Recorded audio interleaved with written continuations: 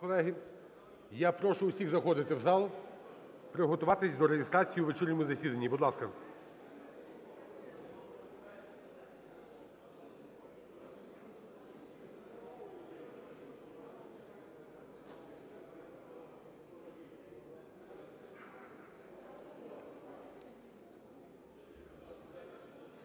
Колеги, прошу заходити в зал. Хочу нагадати, що ми до обіду включили два проекти в порядок денний сесії для розгляду.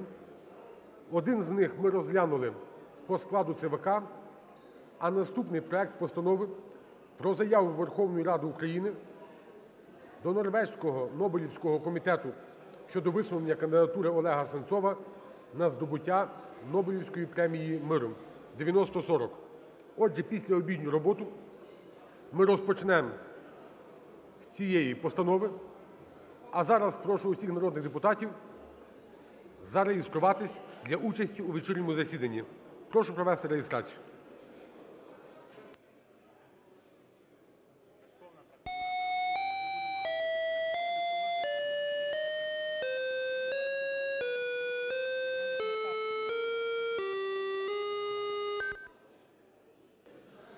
Зареєстровано 370 народних депутатів. Вечірнє пленарне засідання Верховної Ради України оголошую відкритим. І, колеги, хочу вам сказати, що в Україні з офіційним візитом перебуває делегація парламенту Королівства Норвегії на чолі з головою парламенту і з представниками трьох політичних сил, які прибули в Україну. Давайте привітаємо їх. Привітаємо голову парламенту.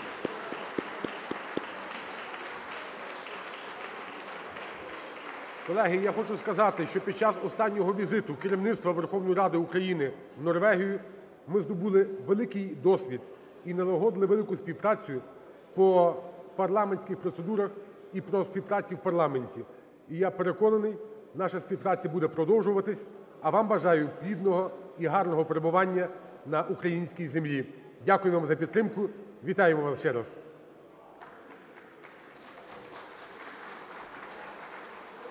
Отже, колеги, переходимо до першого питання наступного порядку денного.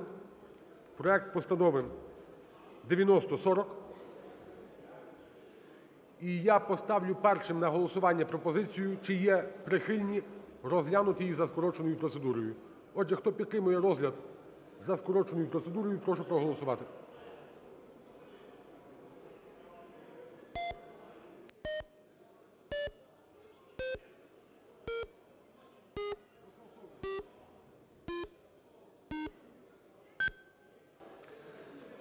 Є бажання парламенту розглядати по повній процедурі.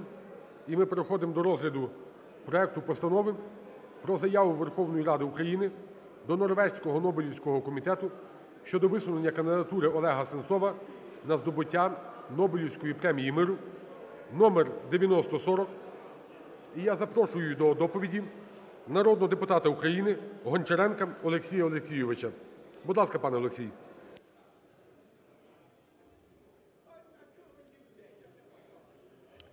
Шановні, шановні колеги, я як голова міжфракційного об'єднання Крим маю честь е, представити вашому розгляду дуже важливу постанову про заяву Верховної Ради України про наше звернення до Нобелівського комітету про вручення Олегу Сенцову, про номінацію Олега Сенцова, українського режисера, українського борця за права людей на Нобелівську премію миру.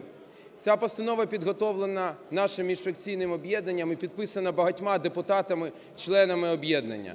Ми всі розуміємо, що ту боротьбу, яку сьогодні веде Олег Сенцов, ця боротьба за нас, за Україну, ця боротьба за наш за український Крим.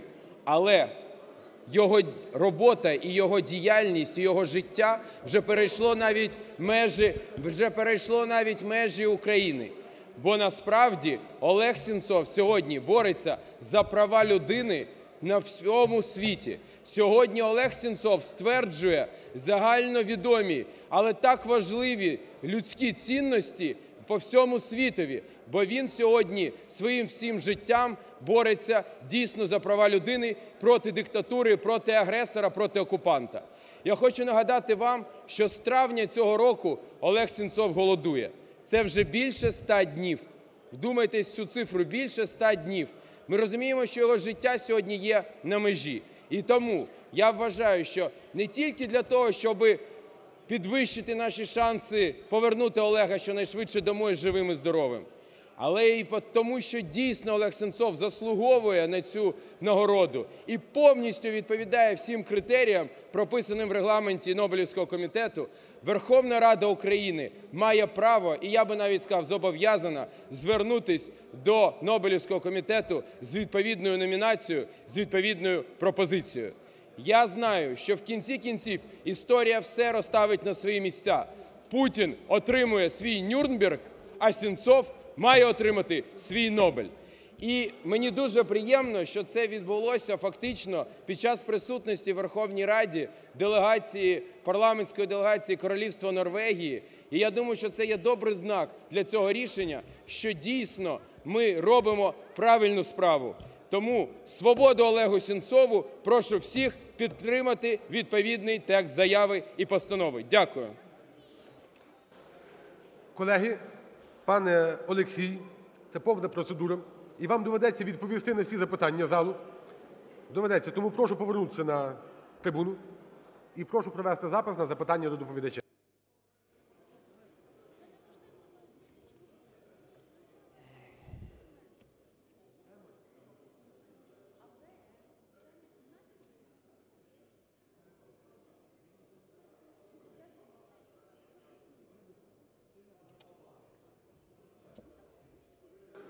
Спориш, будь ласка, включіть мікрофон.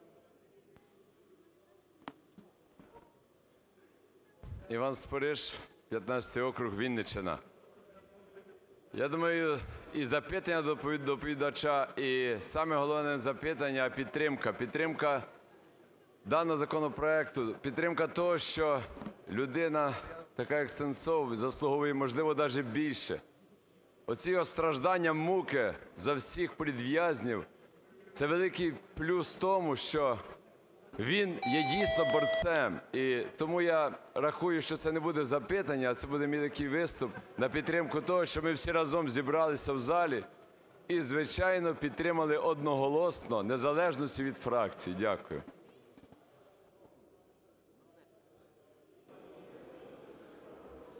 Дякую вам. Порошенко Олексій Петрович, включіть мікрофон, будь ласка.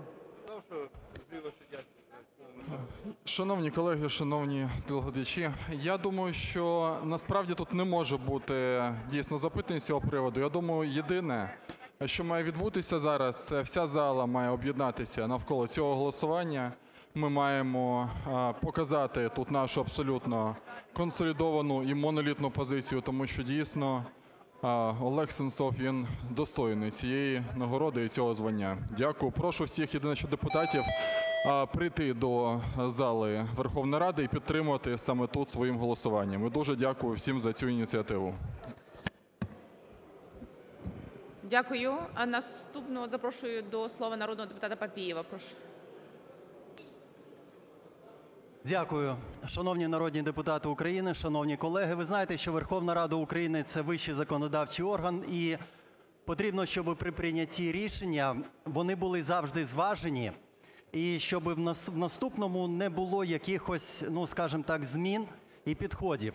Е, Що я хотів би за- зараз вам нагадати? Ви ви пригадуєте свого часу, які у нас були заяви стосовно Надії Савченко? Ми і наша делегація була в Брюсселі, е, в Європейському парламенті, е, в футболках, е, волю Наді там і інші всі речі. Тобто в кінцевому випадку домоглася Україна те, що вона була звільнена з полону, і чого бажаємо і нашому, нашому співвітчизнику Сінцову теж бути звільненим. Але давайте ми все ж таки будемо приймати зважені рішення, щоб потім нам не було соромно за те, що ми голосуємо. Дякую. Можна відповісти? Так, прошу прокоментуйте. Дякую. Я хотів би нагадати всім нам, що ми абсолютно правильно робили, що боролися за українського офіцера Надію Савченко. А те, що далі вона, як український політик, робила тут, в Україні, то вже інша історія. І вона не має одне відношення до іншого. Друге, я хотів би нагадати, що сьогодні на підтримку Олега Сенцова виступає весь світ. Кіноакадемії всього світу, митці різних країн. Е, І тому ми не можемо залишитись осторонь. Більше того, якщо не знає шановний колега, то сьогодні ініціатива щодо вручення Нобелівської премії миру Олегу Сенцову вже йде з боку Польщі від Нобелівського лауреата Леха Валенси. І тому це не тільки українське бажання, це не тільки наша пропозиція. Дійсно, своєю боротьбою він заслуговує на цю премію, найвищу премію в боротьбі за права людини і за мир е, на нашій планеті. Дякую. Дякую, Е, дякую доповідачу. Е, Запрошую до співдоповіді голову комітету у закордонних справах народного депутата Ганну Губко.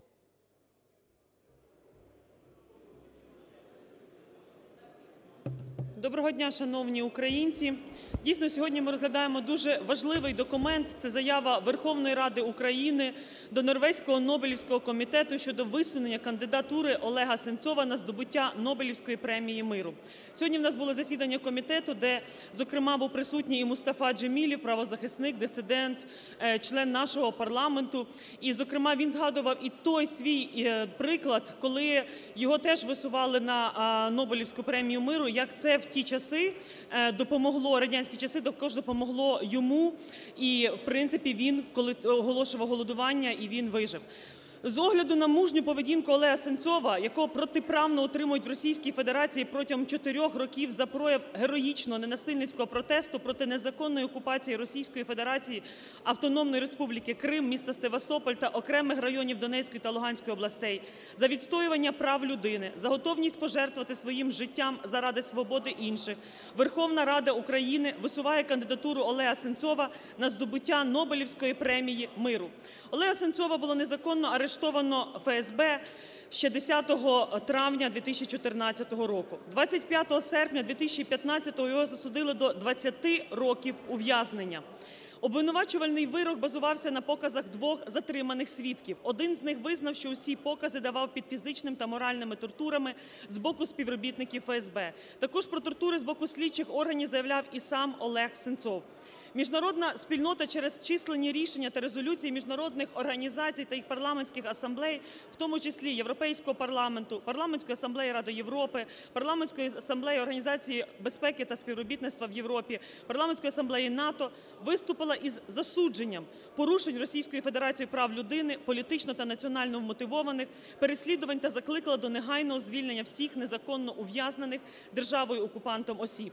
Окрім того, свою підтримку Олегу Сенцову висловили більшість національних кіноакадемій світу, а також громадські діячі, політики, режисери, актори, продюсери, літератори, журналісти тощо. Наразі Сенцов, громадянин України, незаконно утримується на території Російської Федерації за сфабри- сфабрикованою справою. Протягом усього строку утримання під вартою Олег Сенцов показує приклад героїчної мужності та ненасильницького спротиву проти держави окупанта. І також ми бачимо, що його основна вимога голодування відпустити всіх громадян України, які незаконно утримуються Російською Федерацією за безпідставними та політично мотивованими звинуваченнями. В тому числі у своєму зверненні ми перераховуємо імена всіх е, е, не- незаконно утримуваних громадян України, які знаходяться на території е, Російської Федерації, на території Автономної Республіки Крим, тимчасово окупованих територіях Криму та е, також е, Донецької, окремих районів Донецької Луганської областей. Колеги, виходячи з того, що Олег Сенцов протягом усього періоду незаконного утримання під вартою, ризикуючи власним життям, демонструє приклад мужнього ненасильницького спротиву у боротьбі за базові права та свободи людини, Верховна Рада України висуває кандидатуру Олега Сенцова на здобуття Нобелівської премії миру.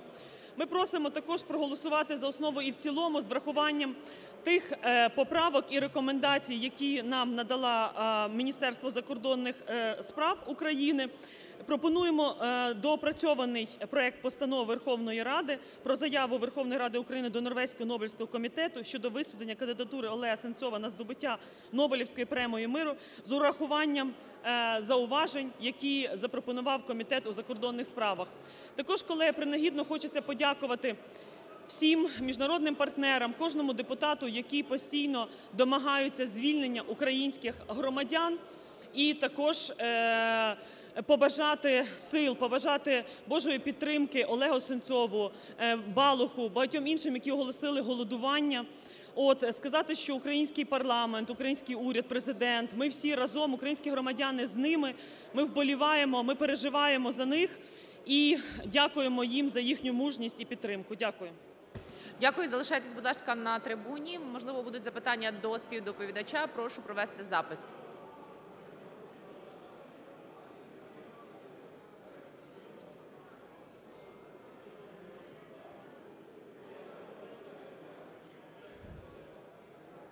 Будь ласка, запрошую до слова народного депутата Мусія.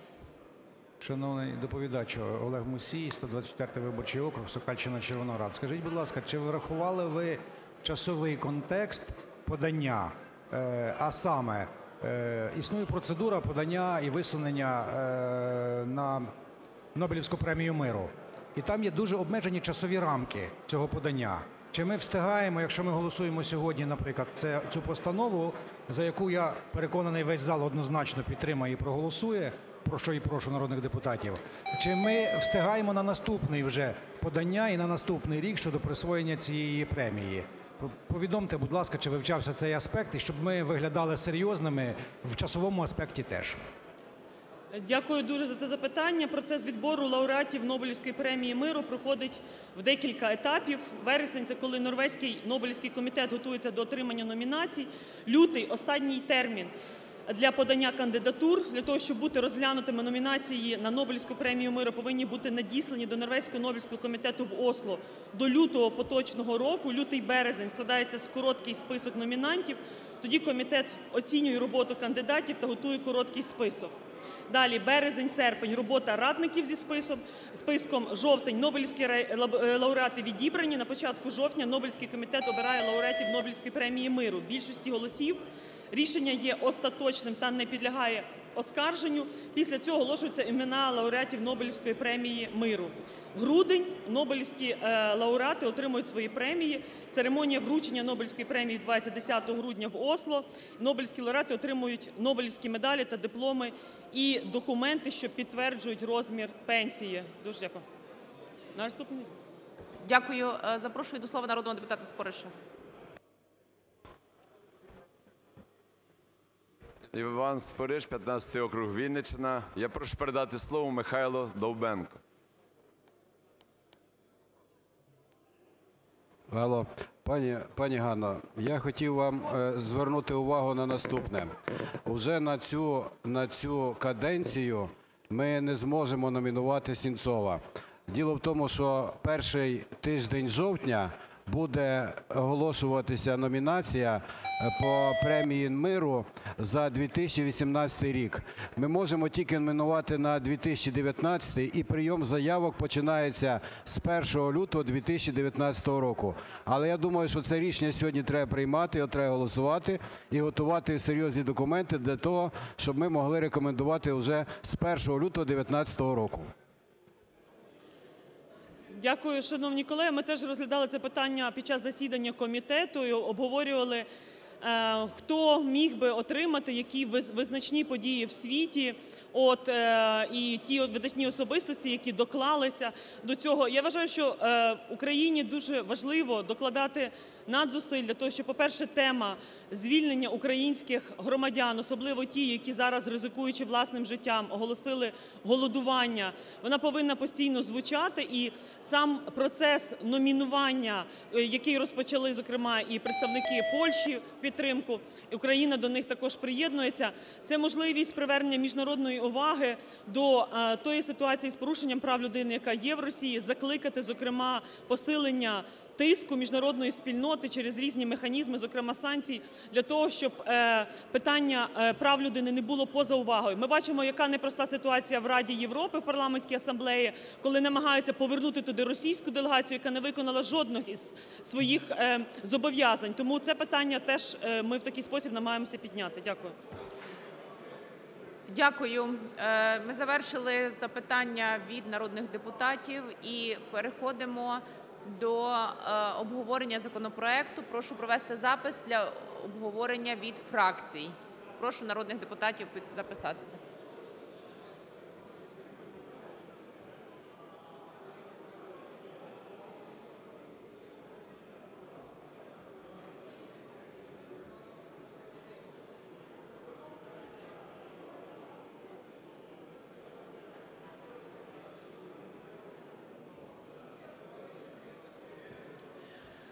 Запрошую до слова народного депутата Олега Ляшка від Радикальної партії.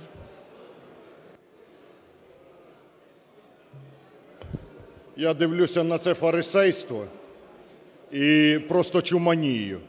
Обговорюється питання Сенцова, присвоєння Нобелівської премії. Того немає, ті задом стоять, ті рішають свої договорняки, де землю віджати, де бабки заробити, де ще щось зробити. І при цьому перед народом граєте комедію, як вам болить Сенцов, і як ви дуже хочете вирішити для нього проблему. Розенблат он сміється про бурштин, згадав, ще про щось. І всі любителі Сенцова. Фарисеї. Кинути долю людини на алтар політики. От що ви робите зараз. Ви замість премії зробили це я до влади звертаюсь. Усе для того, щоб Сенцова і тисячі таких, як він, заручників витягнуть з тюрми. Тому що їхнім рідним, їхнім близьким, їхнім дітям треба їхні батьки, чоловіки і їхні рідні. А не ви граєте комедію, що ви звернетесь до Нобелівського комітету. Премію Сенцова. У 85-му році Стуса теж висували на премію Нобелівську. Чим це закінчилось? Убивством Стуса у мордовських таборах. Я думаю, не думаю. Путінський нинішній режим не менш кровожадний, ніж комуністичний. Я боюся, щоб ваші голосування не стали співучасниками вбивства Сенцова. Тому, коли ви хочете реально допомогти Сенцову, я звертаюся до президента Порошенка, який говорить про мову, про церкву, про армію. Я в 90-му приїхав у Київ, говорив українською, на мене дивилися як на жлоба. А Порошенко по сьогоднішній день говорить російською, тільки на офіційних заходах українською. За церкву у 90-му, в 95-му мене разом із Мосійчуком на Софійській площі мінти дубінками били, коли ховали патріарха Мстислава. А Порошенко ходив в російську церкву. І має там е, статус е, кого він? Піддякона, дякона чи кого? За армію. Будучи секретарем РНБО, що робив Порошенко? Дом на Грушевського віджимав. Замість того, щоб фінансувати армію і гроші вибивати на армію, на оборону. Тепер згадали за Сінцова. Не дуріть народ. Реально боріться за звільнення заручників, за те, щоб країна була сильна, а не виконуйте політтехнологічні номери перед виборами. То НАТО, то ЄС, то Сінцов, то Томос. І все заради виборів. А про всі ці надзвичайно важливі речі, які є фундаментом української державності, забудете через три хвилини після виборів, коли будуть оголошені результати. Фарисеї. Дякую. Запрошую до слова народного депутата Рафата Чубарова від блоку Петра Порошенка.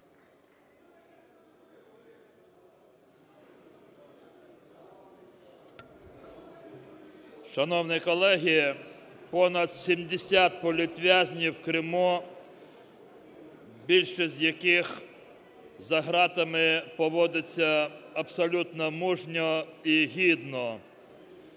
Більшість тих людей, які зараз там в Криму за ґратами, гідні найвищого, найвищого рівня нашої поваги.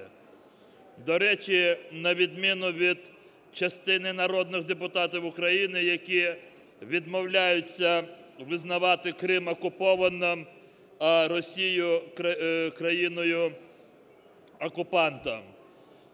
Ви знаєте, що в ці дні різко погіршився стан здоров'я Володимира Балуха. Сьогодні вранці знову прийшли з обшуками до чергової родини кримських татар, братів Арсена Айдера Бекірових.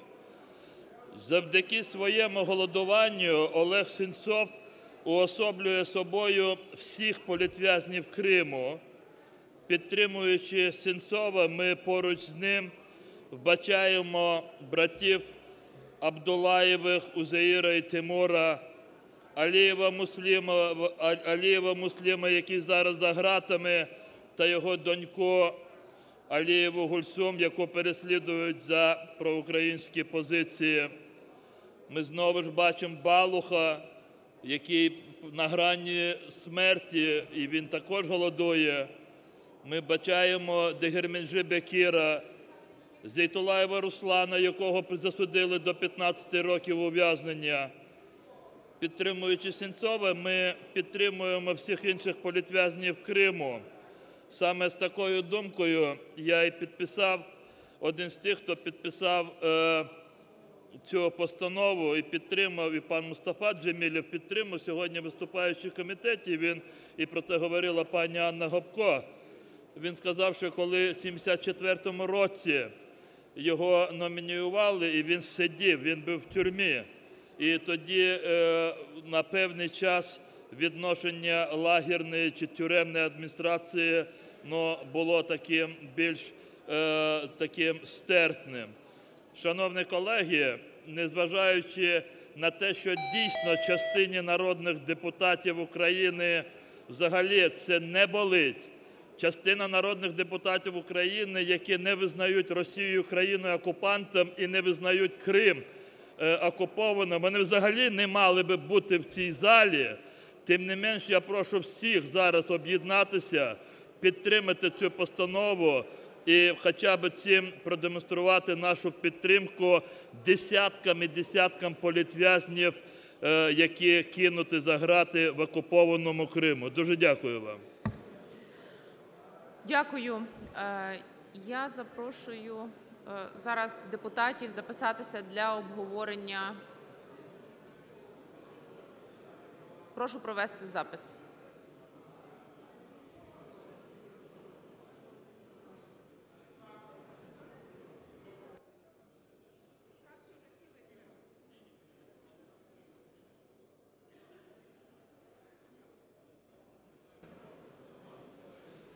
Запрошую до слова народного депутата Крулька. Прошу.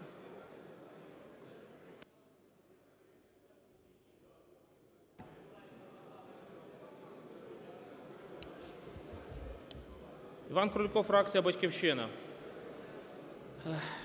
Безумовно, що сьогодні ми розглядаємо питання, яке має консолідувати цю сесійну залу, і стосується воно дійсно людини, яка проявляє найвищі людські героїчні якості, коли, знаходячись в російському полоні, в російській тюрмі, бореться за звільнення не особисто себе, а усіх політичних в'язнів, яких незаконно ув'язнив Кремль, коли здійснив незаконну окупацію і анексію Криму, а також розв'язав агресійну війну на сході України, окупувавши частину нашої території в Донецькій і Луганській областях.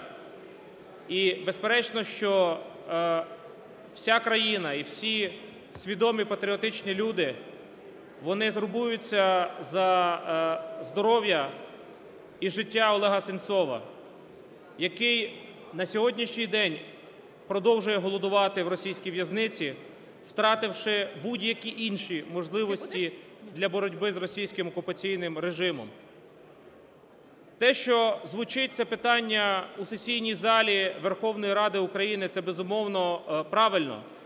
Е, І ми чудово розуміємо при цьому, що е, прийняття цього рішення, воно, мабуть, не наблизить до того, щоб звільнити Олега Сенцова. Але ми з цієї трибуни маємо у першу чергу закликати весь світ бути разом з Україною у питанні агресивної війни Росії проти України, домагатися всіма методами, і треба кратно посилювати зусилля української влади, дипломатичних представників на те, щоб тиснути на російського агресора і рятувати життя і здоров'я українським політичним в'язням, зокрема Олегу Сенцову. Чи за свою діяльність він заслуговує на те, щоб здобути Нобелівську премію?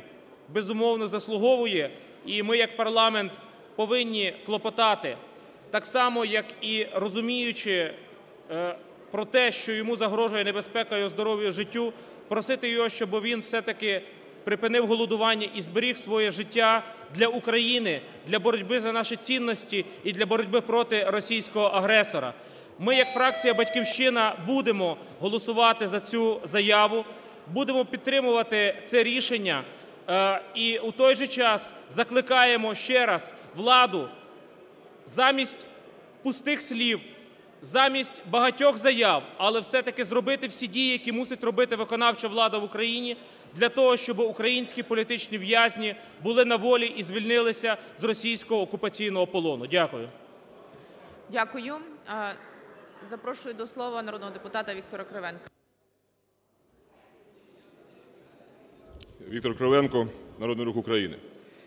Шановні телеглядачі, шановні колеги, ситуація з Сінцовим – це ще один для всього світу тепер вже зрозумілий приклад е, такого ницого ставлення Росії до прав, до законів, до людей. Уявіть собі, і тепер це обговорює весь світ, що людині надали громадянство всупереч її волі. То як раніше в Радянському Союзі були раби в селі, в яких паспортів не було, забирали їх, так тут просто сказали, це наш раб, ми надаємо йому паспорт, і тепер ми будемо його по нашим законам судити. Ситуація з політв'язнями, вона насправді кричуща, і вона зрозуміла, що це просто механізм для тиску на Україну. Сторона українська неодноразово пропонувала обмін всіх на всіх. Ми справді хочемо і боремося, щоб повернулися всі українці. Сьогодні проголосували закон, яким буде підвищений соціальний захист для політично репресованих, і там мають бути і родини політв'язнів. І дуже важливо, щоб світ про це бачив. Рухівці в день старту чемпіонату світу по футболу в червні місяці провели флешмоб під російським посольством. Молоді рухівці наліпили гіпсових кісток, поставили футбольний стіл, поклали ці кістки, цей штучний такий дитячий ігровий футбол, поклали ці кістки і гвоздики на поле і запрошували всіх охочих грати. І ми вимагали бойкоту чемпіонату світу на кістках. Бойкот чемпіонату світу в країні, яка, на жаль, вбиває людей. Хтось може собі уявити, щоб після Олімпіади 36-го року в Мюнхені, через 4 роки, коли Німеччина розв'язала війну вже проти всього світу, проти Франції, проти Польщі, е, щоб е, хтось проводив чемпіонат світу в Німеччині. А в Росії проводять. І багато наших партнерів європейських на нього приїздили на цей чемпіонат світу. І ця політика подвійних стандартів вона є вкрай небезпечною. І нам треба постійно наголошувати і до наших партнерів європейських звертатися з тим, щоб вони справді захищали ті європейські цінності, права людини, непорушність кордонів, щоб вони не торгували своїми принципами. А то з одного боку ми Україну підтримуємо, а з іншого боку будуємо Nord Stream. Тому народ України безумовно підтримує це рішення стосовно висунення Олега Сенцова на Нобелівську премію. Ми так само на всіх наших публічних виступах на цьому наголошуємо. Нещодавно я був в ефірі телеканалу One, і коли я сказав, що давайте подякуємо Європейській народній партії, яка висунула Олега Сенцова на премію Сахарова, давайте підтримаємо Олега Сенцова в його боротьбі за Україну вставанням і оплесками.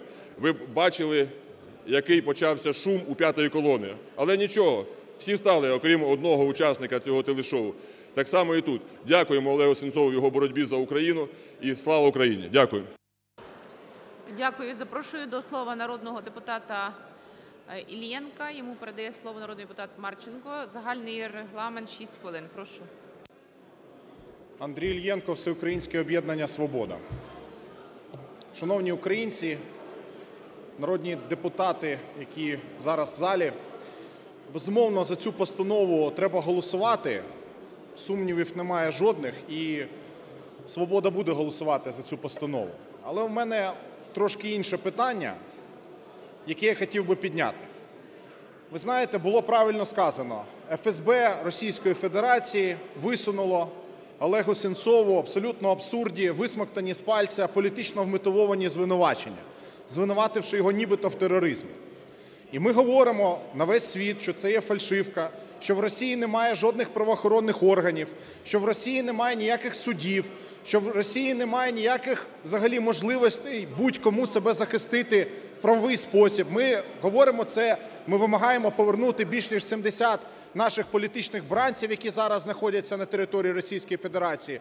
Ми виступаємо і в тому числі з цієї трибуни і тільки що про це говоримо. Але водночас Федеральна служба безпеки Російської Федерації направляє в Україну лист до Генеральної прокуратури України, де каже, що, наприклад, громадянин Російської Федерації Тимур Тумгоєв, який є інгушем за національністю, який знаходився на території України, він є терорист, і тому його треба видати в Російську Федерацію. І Генеральна прокуратура України каже: ну так подивіться, аж написала ФСБ, що він терорист. Так що ж його не видать? Треба його видати. Хай він буде в Росії тепер. Там там у нього ж буде можливість, напевно, в суді себе захищати. Можливо, буде довести, що він не терорист. Ну це ж просто маячня. Це ж просто абсурд. Ми водночас говоримо про Сенцова, про інших несправедливо звинувачених політичних бранців. А в іншому питанні наші державні органи співпрацюють з каральною системою Російської Федерації, передаючи туди людей по екстрадиції з України. Це ж повна маячня. Ви вдумайтеся в це.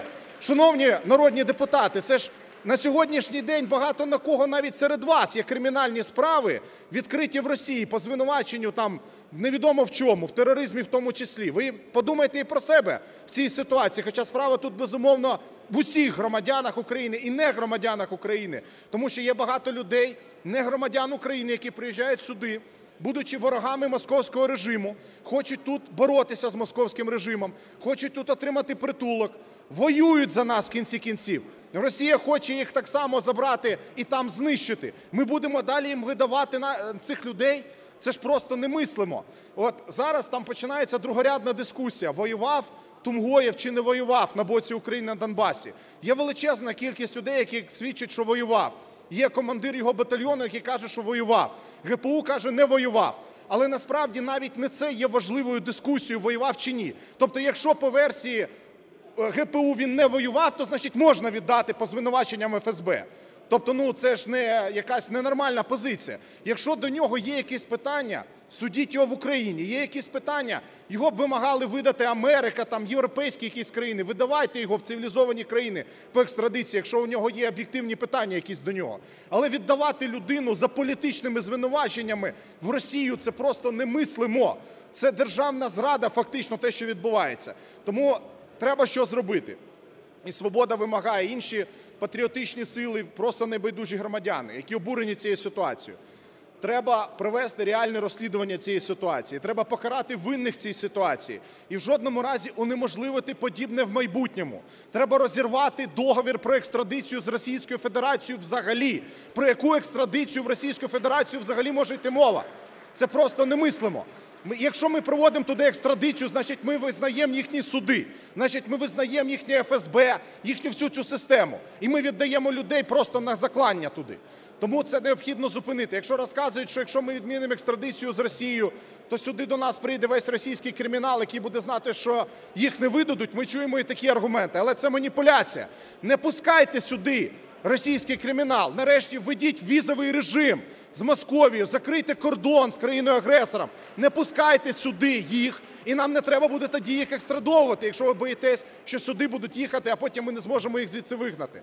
Тому я закликаю парламент створити тимчасову слідчу комісію з приводу цього питання. Я закликаю всіх депутатів, які є патріотами, відреагувати на цю ситуацію, тому що ця ситуація це є вже абсолютно жахливий прецедент, який не може повторюватися. А всім українцям, які зараз є бранцями Кремля, я наголошую. Неправильно, на мій погляд, вживати термін політв'язень, тому що політв'язень це коли людина сидить несправедливо в своїй країні. Це не політв'язень, це заручник, це політичний бранець, це фактично полонений. Так треба трактувати це питання. І в тому числі Олег Сенцов, і всі наші українці, які зараз там сидять, їх треба витягувати, треба виривати їх з злочинної цієї ФСБшної системи, але і в жодному разі не віддавати туди нікого і припинити цю жахливу колаборацію, жахливу співпрацю з московськими каральними органами. Тому я до цього закликаю і все будемо робити для того, щоб перемогти московську імперію і визволити всіх, хто там зараз знаходиться, хто там зараз звинувачується несправедливо, хто там зараз знаходиться в неволі, бо це наш святий обов'язок. Слава Україні! Отже, колеги, зараз заключний виступ. Мельничук Іван Іванович. Після того буде заключне слово, і ми будемо переходити до голосування. Тому прошу голів фракцій, запрошую депутатів в зал. Будь ласка, пане Іван. Шановні колеги, блок Петра Порошенка, звичайно, буде підтримувати даний законопроект у всій своїй більшості. Я хотів сказати трошки про інше і звернутися до е, фракції, лідер якої виступав сьогодні з цієї трибуни, буквально пару чоловік до мене, і розказував, що таке фарисейство. Ви розумієте, фарисейство не те, що він озвучував з цієї трибуни. Фарисейство це те, що він робить. Розумієте, вийти на трибуну і розказувати за Олега Сенцова, при цьому всією фракцією не голосуючи за постановку цього питання у порядок денний, оце називається фарисейство, як про мене. Ще що називається фарисейством, як про мене, повторюю. Фарисейством називається те, що він прекрасно знає, називаючи фамілію нашого президента в цій залі, що згідно регламенту Верховної Ради він не може йому відповісти в цьому залі. І представника президента немає в цьому залі, яка могла йому тут же відповісти. Тому вийду і відповім я, народний депутат із блоку Петра Порошенка. Дивіться, коли було сказано про те, що Порошенко говорить завжди російською мовою, ну неправда це. Він, на відміну від вас, шановний, знає дуже багато мов. На відміну від вас, знає дуже багато мов. А те, що робив хто в 90-х, ну то напевне згадайте, що ви робили в 90-х. Коли в міліцейській формі ходили, віджимали денюжку, віджимали автомобілі, віджимали все, що хотіли, розумієте?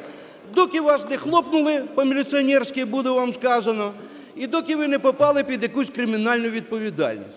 І коли ви удачно звідти спригнули, ви ж на цьому не зупинилися. Ви пішли в політику.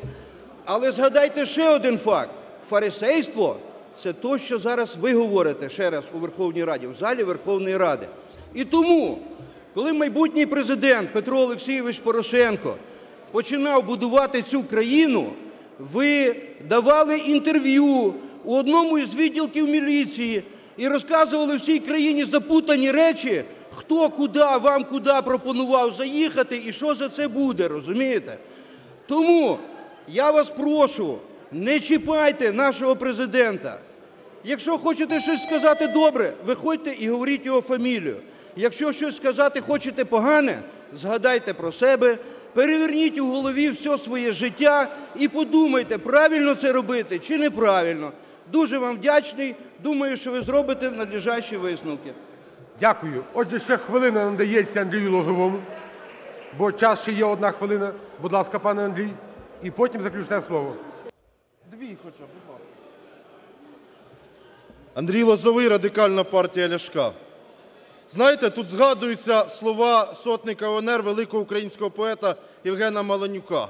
Хто гвалтував тебе, безсила, безладна, п'яна та німа. Неплодну плоть, убоге тіло давала кожному сама.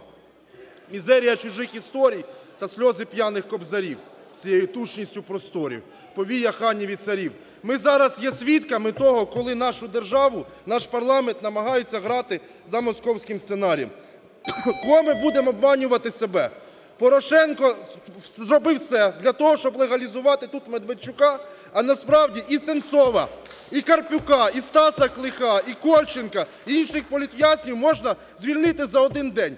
Арештувати кума Путіна і друга Порошенка Медведчука і обміняти його на наших політв'язнів.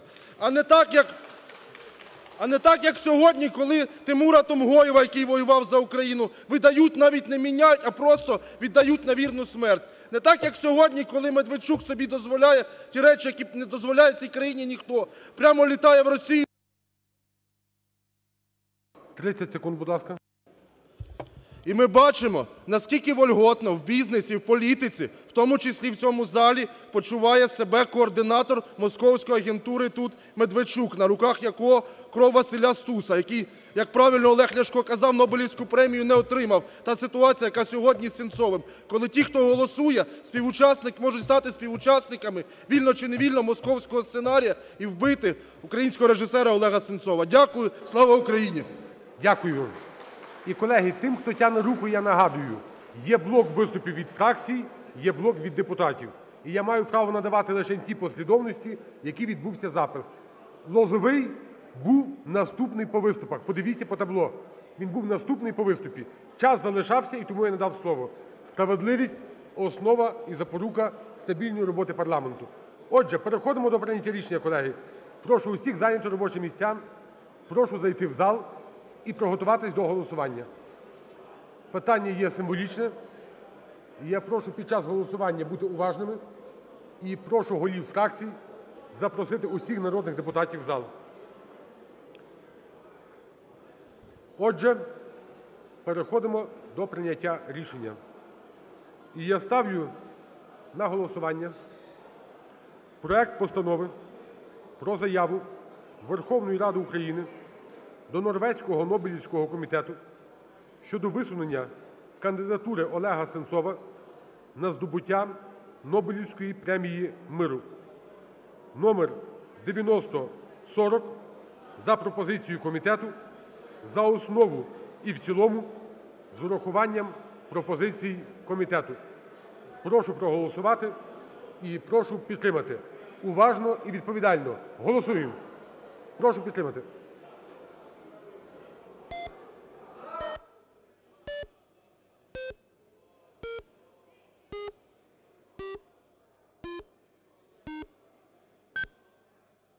...245 за.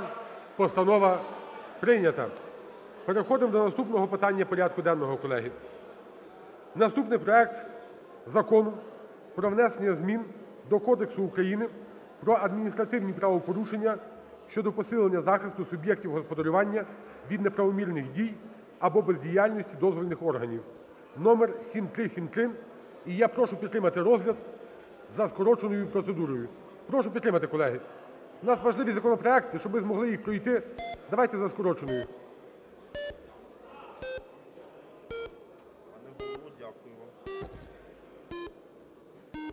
Правильно все сказав? 166 – за. Рішення прийняте. І я запрошую до доповіді народного депутата України Продан Оксану Петрівну. Пані Оксана, я вас запрошую.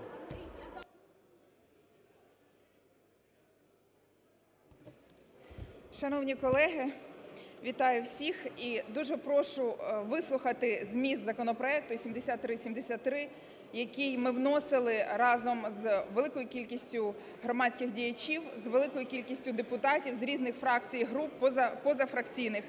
Це законопроект, який дасть можливість після його прийняття запрацювати цілому ряду законів, виконати велику кількість обіцянок, які давали різні депутати різних рівнів, коли йшли на вибори. А саме після прийняття цього законопроекту почне працювати закон.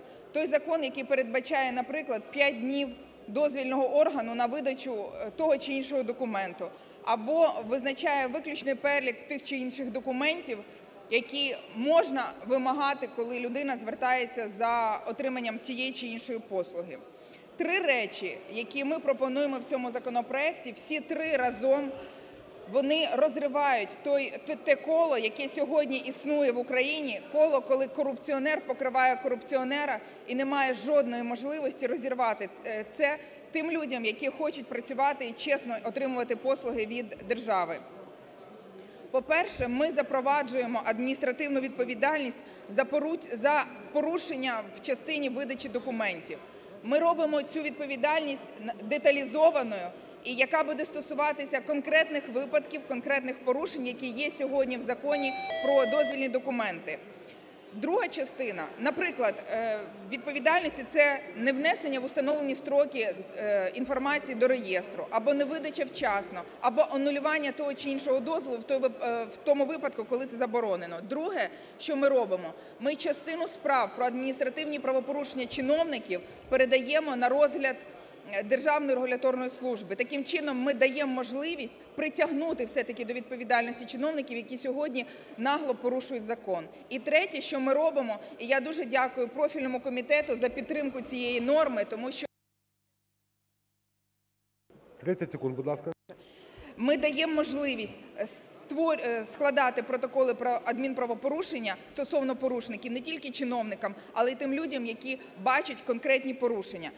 Цей законопроект підтримує уряд, за що я дуже дякую. Цей законопроект підтримує реанімаційний пакет реформ і багато інших е, об'єднань активістів. І що важливо, цей законопроект підписали представники всіх груп і фракцій і позафракційні. Тому я прошу зараз колег всіх проголосувати. Дякую вам. Від Комітету з питань законодавчого забезпечення правоохоронної діяльності до слова запрошується Паламарчук Микола Петрович. Будь ласка.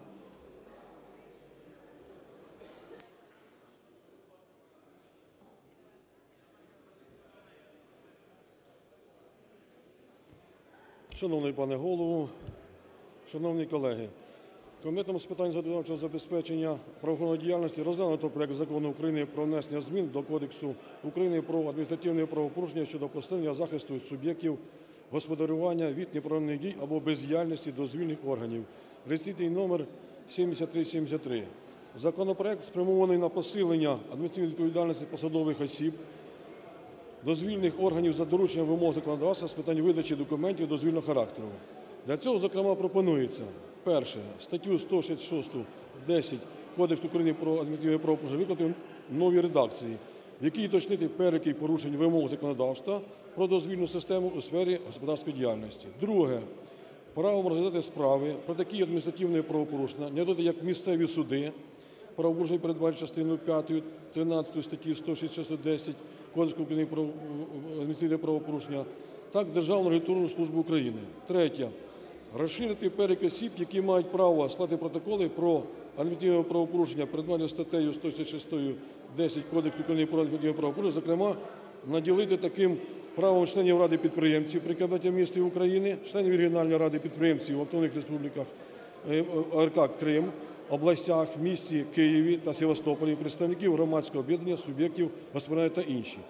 Проаналізувавши законопроект, члени комітету висловили деякі зауваження, зокрема щодо необхідності його узгодження з положенням закону України про дозвільну систему у сфері господарської діяльності, а також щодо переліку суб'єктів, які наділяться правом складати адміністративні правопорушення.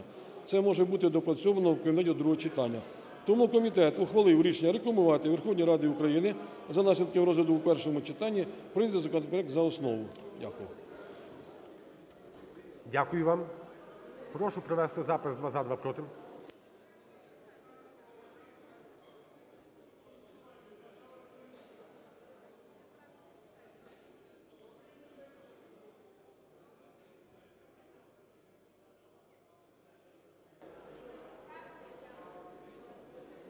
Галасюк Віктор Валерійович від Радикальної партії. Передає Мосійчуку Ігорю. Будь ласка. Ігор Мосійчук, Радикальна партія Олега Ляшка. Ми, звичайно, підтримуємо цей законопроект в першому читанні, але говорячи про адміністративні правопорушення, варто, мабуть, було б говорити і про кримінальні. І тут хотів би згадати свою малу батьківщину Полтавщину.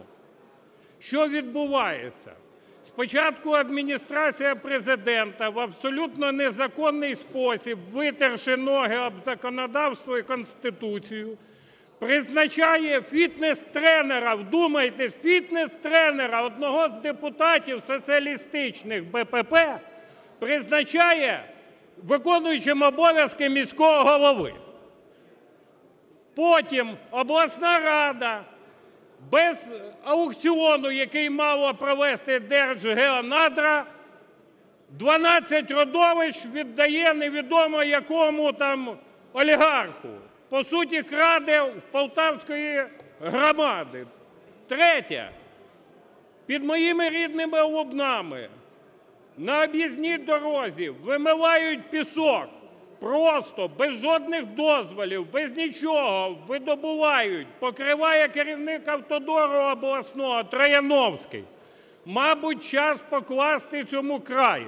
Тому, користуючись нагодою, звертаюсь до Генерального прокурора, міністра внутрішніх справ, голови Служби безпеки України. Зверніть увагу на Полтаву і Полтавщину. Приведіть до чинного законодавства ці речі. Фітнес-тренери мають бути в спортзалах, а не в креслах мерів. Ми нікому не дозволимо фальсифікувати вибори президента на моїй рідній Полтавщині. Слава Україні! Від фракції «Самопоміч» Пастух Тарас Тимофійович передає Остріковій, будь ласка. Доброго дня, шановні колеги. Сьогодні дійсно вдалий день для українського бізнесу, адже вже другий законопроект сьогодні розглядається, який покликаний стати на захист прав наших підприємців. Е, За даними експертів Офісу е, ефективного регулювання БРДО, у 2016 році підприємці сплатили за отримання дозвільних документів близько 28 мільйонів гривень. Це офіційна цифра – 28 мільйонів гривень, а неофіційно – майже у 7 разів більше. Тобто фактично це побори і хабарі. 193 мільйони гривень було сплачено підприємцями саме за отримання дозвільних документів як побори і хабарі. Вдумайтесь в цю цифру. Тому наші посадовці, на жаль, е, ще з радянських часів не розуміють, що е, не бізнес працює і існує для них, а вони покликані працювати і здійснювати свої функції для бізнесу. Держава має надавати бізнесу якісний сервіс, а чиновники це лише менеджери з надання цих послуг. На жаль, в Україні панує це спотворене уявлення, яке нам ще дісталося у спадщину з радянського союзу, що чиновник визначає якісь умови і встановлює якісь бар'єри для ведення бізнесу. Щоб усунути негативний вплив і такі можливості, е, був поданий цей законопроект, який деталізує відповідальність посадовців за, е, наприклад, відмову у е, прийнятті дозвільного документу, за невнесення або несвоєчасне внесення дозвільним органом в установлені законом строки інформації до єдиного реєстру, за безпідставну відмову адміністратора суб'єкта господарювання у прийнятті заяви про одержання документів. Про які дозвільні документи йдеться?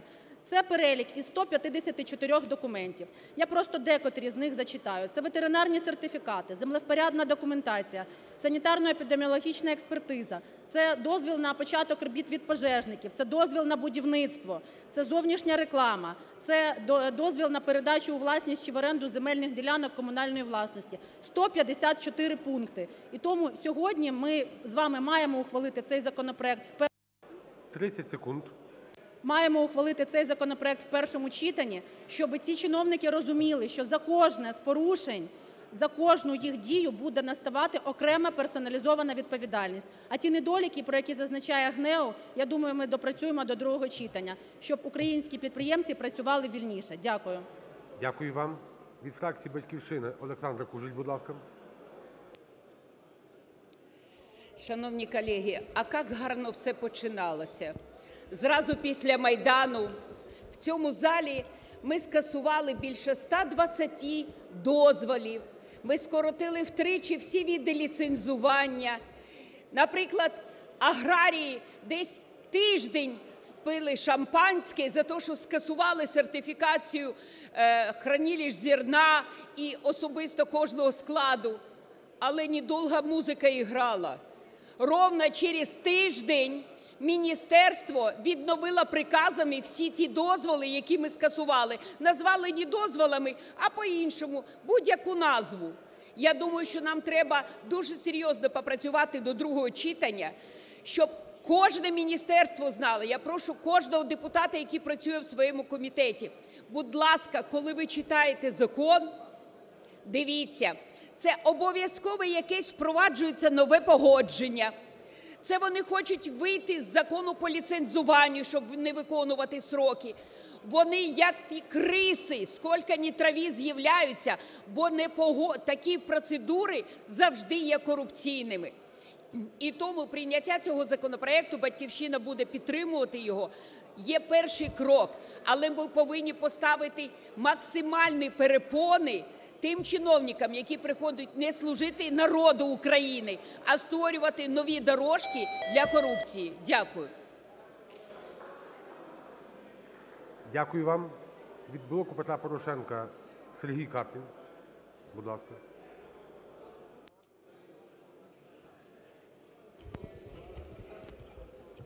Шановні співвітчизники, е, надзвичайно серйозний е, законопроект. Я хочу подякувати, вклонитися Оксані Петрівні, що вона виступила локомотивом, який е, його просував, лобіював в Верховній Раді. 154 дозволи, 154 рази може жахнути будь-яка дозвільна служба нашого підприємця. Ми сьогодні створюємо умови цим законом, аби підприємець, роботодавець був захищений. Ми, звичайно, будемо сюди голосувати, буде достатніх 300 голосів. Що стосується фітнес-тренера, я розумію, то одна радикальна поклали око на фітнес-тренера мого. Але я хочу сказати, він ніякий не фітнес-тренер. Це людина, яка два скликання у міській раді Полтави боролася проти Мамая, яка пережила надзвичайну боротьбу проти ікони політичної проституції в Україні, міського голови Мамая, який прийшов два, влади, два рази до влади через гречку, через цукор, через підкуп виборців, колишній риг, якого зараз захищають попередні виступаючі. Більше того, за Олександра Шамоту проголосувала «Свобода» повним складом, фракція «Самопомічі» повним складом, Соціал-демократична партія, фракція наша повним складом, інші фракції «Рідне місто» повним складом. 28 голосів, е, дві треті голосів у міській раді. І я переконаний, це буде один з найкращих мерів в країні. Він покаже, як можна об'єднати ціле місто, добитись результатів. А потім ми ще об'єднаємо країну і разом всі доб'ємося результатів в цілій країні. Полтава буде локомотивом і фарватером справжніх реальних реформ. Ми покажемо, як треба керувати. Не так, як Гройсман, а як справді треба керувати країною. Слава Україні! Колеги, обговорення завершене. Я прошу запросити усіх народних депутатів в зал. Прошу секретаріат Верховної Ради запросити депутатів в зал. І поки народні депутати заходять, колеги, увага! Нам необхідно буде провести дискусію, тому що все більше частішують випадки, коли в обговоренні закону доповідачі говорять зовсім по іншій темі. І я боюся, чим ближче будуть вибори, тим ця тенденція буде ставати гострішою. Нам треба буде між собою домовитись, або ми всі вертаємося в правове поле і говоримо по закону, по регламенту я маю зупиняти. І ми повинні мати універсальний загальний принцип один до одного. Обговорення закону передбачає обговорення закону і нічого інакшого. Тому я закликаю всі фракції до цієї дискусії, щоб ми не зловживали цим правом. І зараз я прошу усіх приготуватись до голосування. Я наголошую, рішення комітету лишень за основу. Я прошу лож уряду повернутися в зал. Законопроект є реформаторський і прогресивний. І я впевнений, що в залі буде консолідована позиція по його підтримці. Важливо лише, щоб всі зайняли свої позиції. Отже, готові, так, колеги? І я ставлю на голосування проект Закону про внесення змін до Кодексу України про адміністративні правопорушення щодо посилення захисту суб'єктів господарювання від неправомірних, дій або бездіяльності дозвільних органів (номер 7373) за пропозицією комітету за основу. Прошу проголосувати, колеги, і прошу підтримати за основу. Голосуємо, підтримуємо. Голосуємо, колеги.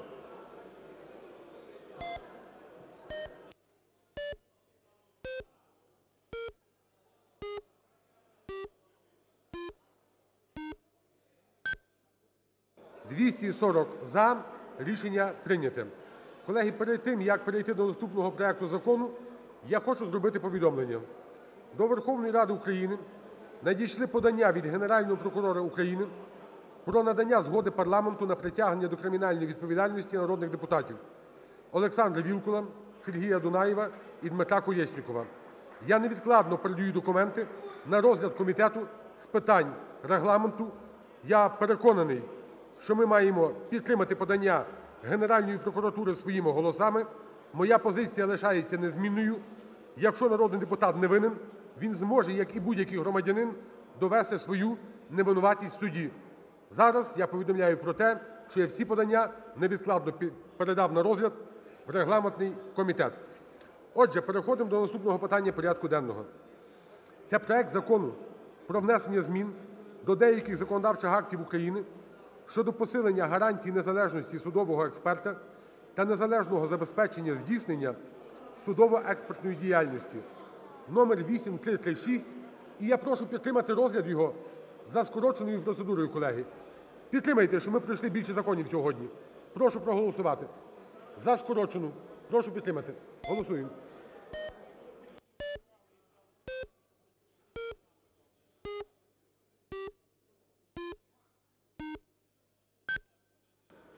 За-155 Рішення прийняте. І я запрошую до доповіді народного депутата України Геращенка Антона Юрійовича.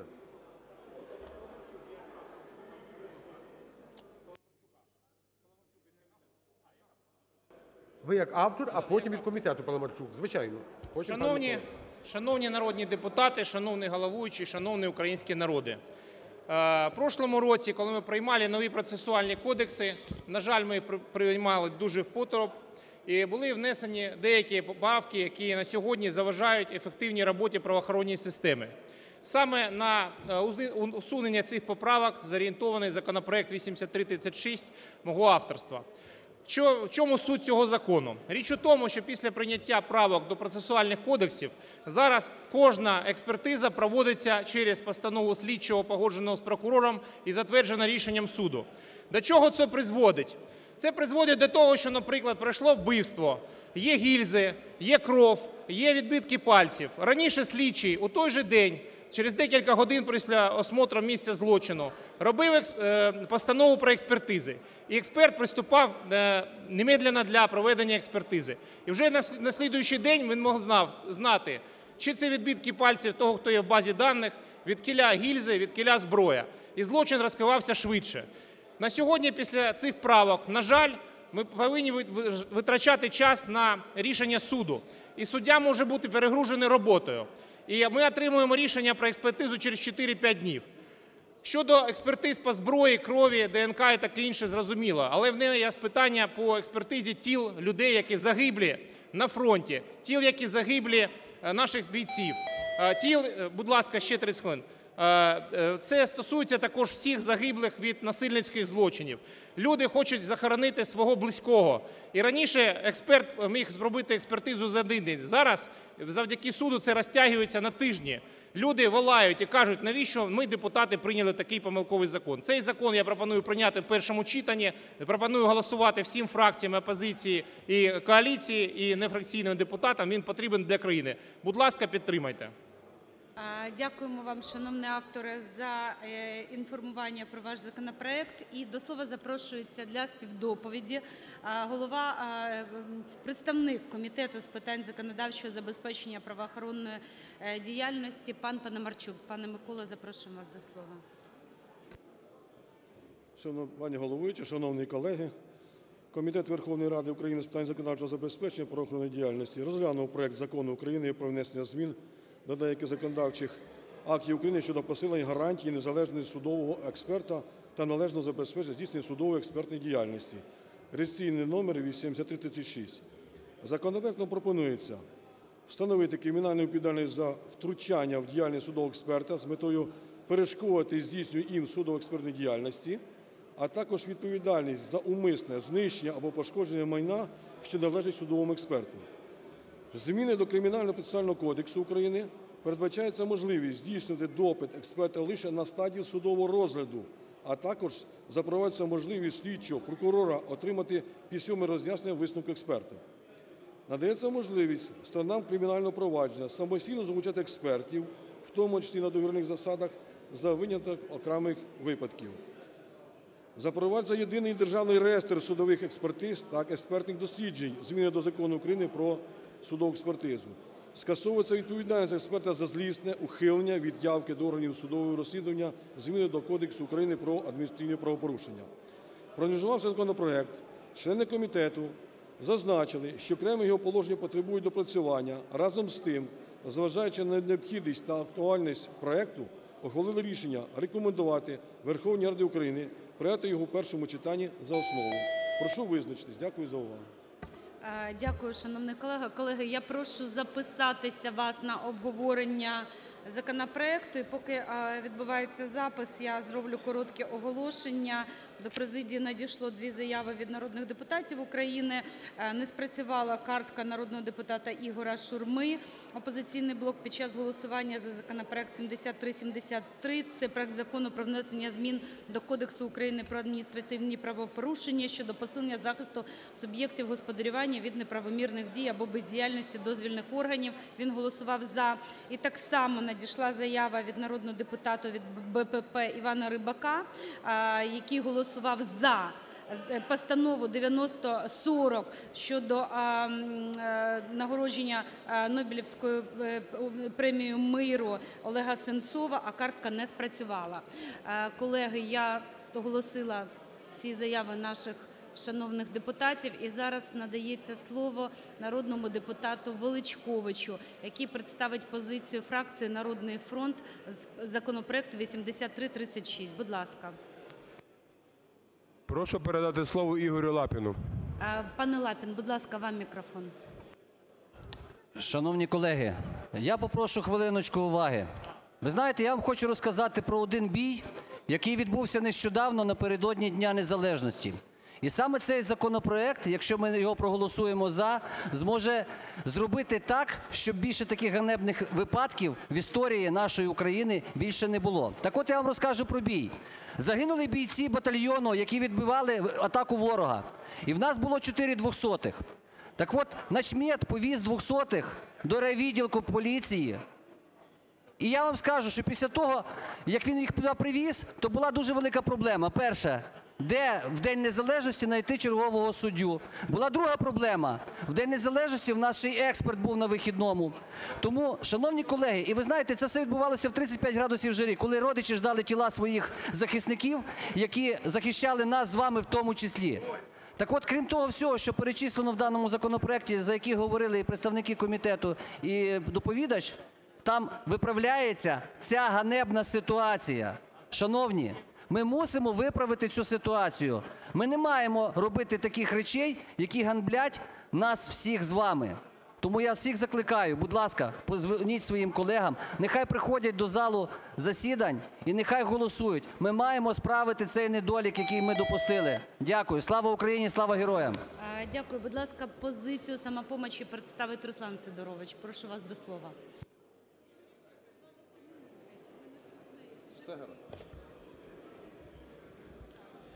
Руслан Сидорович, об'єднання «Самопоміч». Даний законопроект, звичайно, що потрібно в першому читанні приймати, однак є цілий ряд моментів, які є дуже важливими. Перш за все, чому ми взагалі розглядаємо цей законопроект? Це є наслідком недолугих попередніх рішень парламенту, при яких ми створили ті ситуації, коли люди по 3, 4, 5, 6 діб не можуть забрати покійників з моргу. Коли покійників віддають інколи в закритих труп, е, трунах, тому що трупи вже розкладаються. І це люди прекрасно знають. Це є питання перше. Тому, перш ніж приймати якісь рішення, голосувати за закони, потрібно дуже добре подумати і проаналізувати щодо наслідків для усього суспільства. Наступне. Безумовно, що сьогоднішня ситуація, яку виправляє цей законопроект, коли особи, які підозрюються у вчиненні умисних злочинів, можуть уникнути покарання, є абсолютно неприпустимою. Разом з тим, скажіть, будь ласка, а яка логіка в тому, що ми не вирішуємо аналогічної проблеми, яка стосується економічних злочинів і корупційних злочинів? Ми що їм індульгенцію виписуємо? Де питання пропорційності, де питання логіки, де питання здорового глузду в кінці кінців? Чому не застосовується єдиний підхід принципу? Щодо експертиз. Ми, приймаючи цивільний процес, е, Господарський процесуальний кодекс, Кодекс питань адміністративного судочинства дали можливість проводити експертизу не лише за судовими рішеннями. Для чого ми в даному випадку знову це обмежуємо до волі судді і створюємо чергові місця, де може виникати корупція, де можуть люди просто навіть без корупційних діянь мучитися, чекати, отримувати це судове е, рішення щодо призначення експертизи. Чому експертиза зводиться Е, 30 секунд, будь ласка. Чому експертиза зводиться виключно до державних експертів? Що це за монополія? Що це за привілегія? Ті адвокати, ті правники, які мають практичний досвід, прекрасно знають, як працюють ці інститути і наскільки вони є керовані е, е, від тих структур, під чиїм дахом вони знаходяться. Тому законопроект потрібно приймати в першому читанні, але до другого читання він потребує дуже серйозного системного доопрацювання. В іншому випадку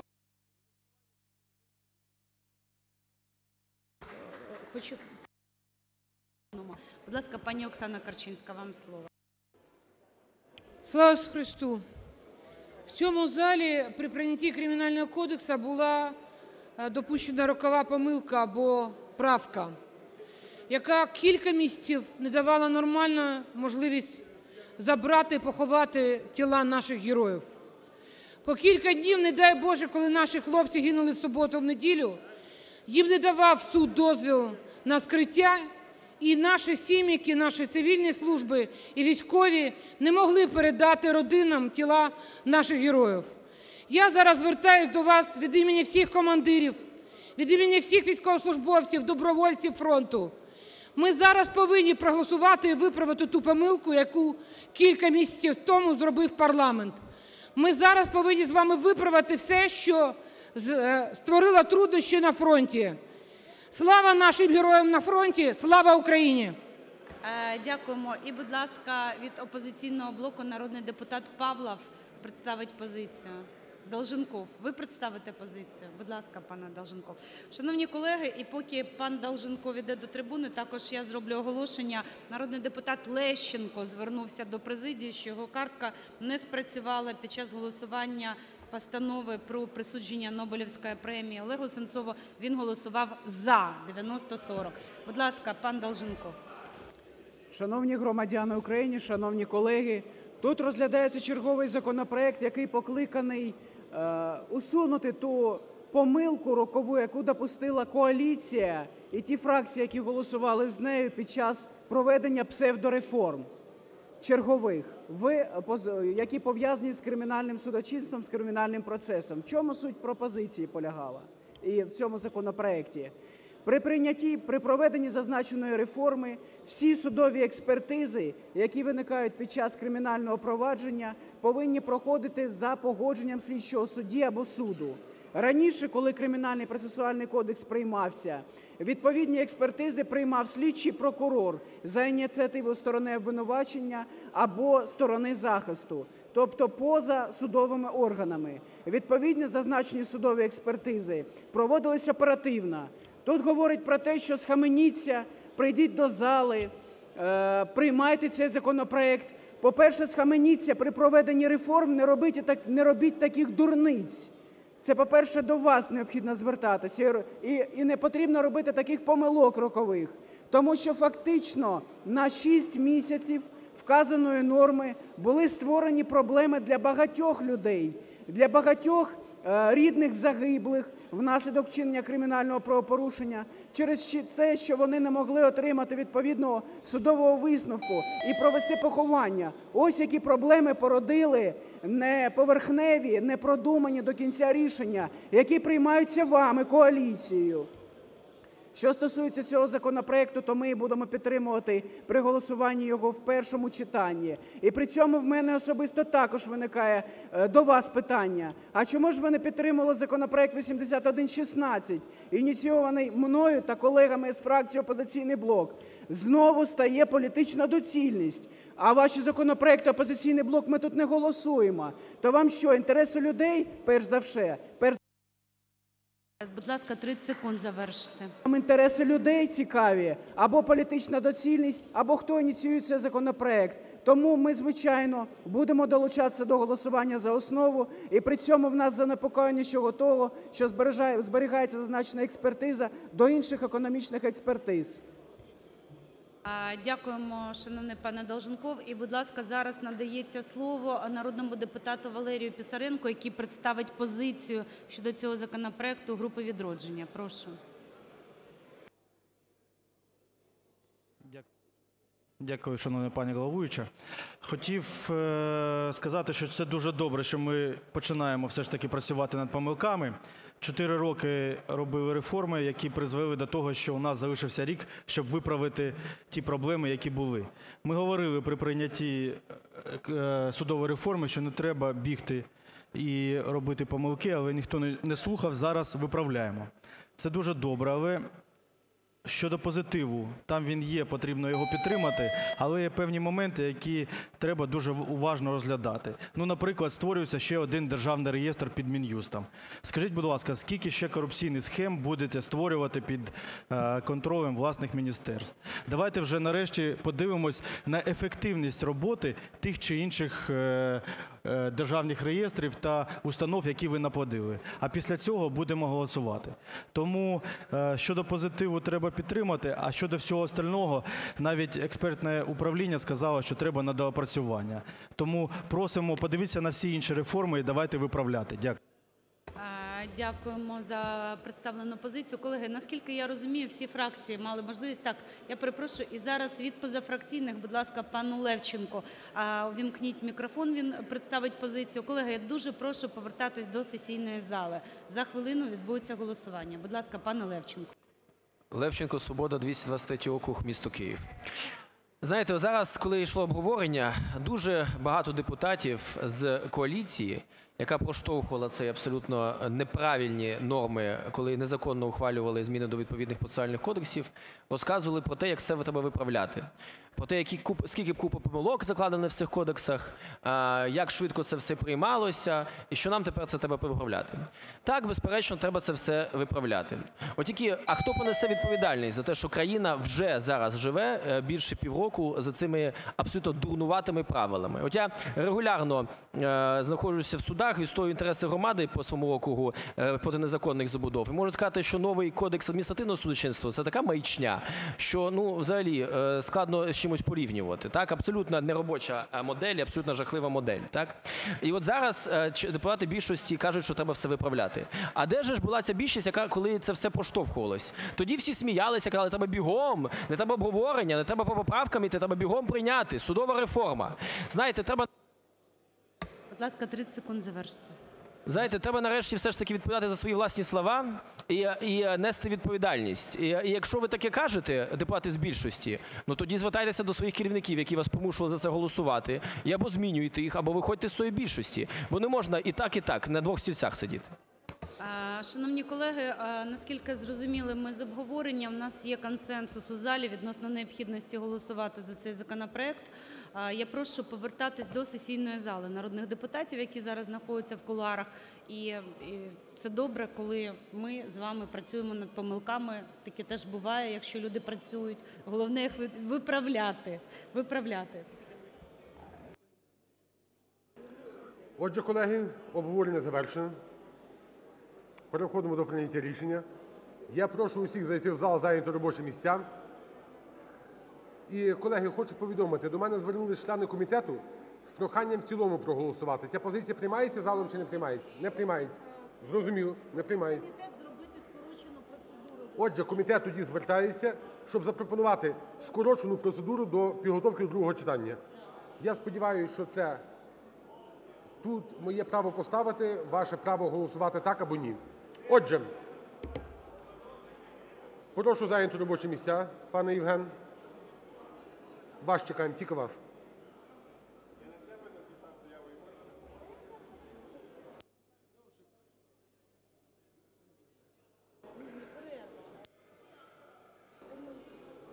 Отже, я ставлю на голосування проект Закону про внесення змін до деяких законодавчих актів України щодо посилення гарантій незалежності судового експерта та належного забезпечення здійснення судово-експертної діяльності (номер 8336) за основу, колеги, за основу Прошу проголосувати, прошу підтримати, колеги. Голосуємо за основу. Прошу підтримати.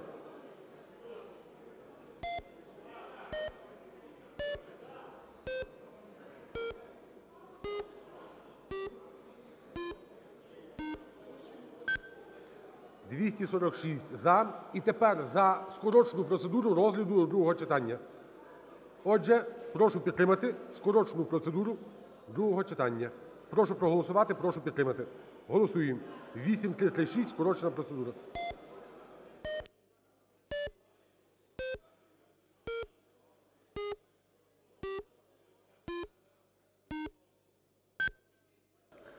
«190». На жаль, не підтримали, але проект закону за основу підтриманий. Переходимо до наступного питання порядку денного. Наступне питання – це проект Закону про внесення змін до статті 121 Кодексу України про адміністративні правопорушення щодо зниження смертності та травматизму на дорогах України шляхом збільшення рівня користування ремнем безпеки та мотошоломами (№ 8492). Це питання є надзвичайно актуальне сьогодні для України. Є ще ряд законопроектів, які готуються, а цей ми вже можемо переходити до розгляду. І я прошу підтримати розгляд його за скороченою процедурою. Прошу проголосувати і прошу підтримати розгляд за скороченою процедурою. Будь ласка, голосуємо.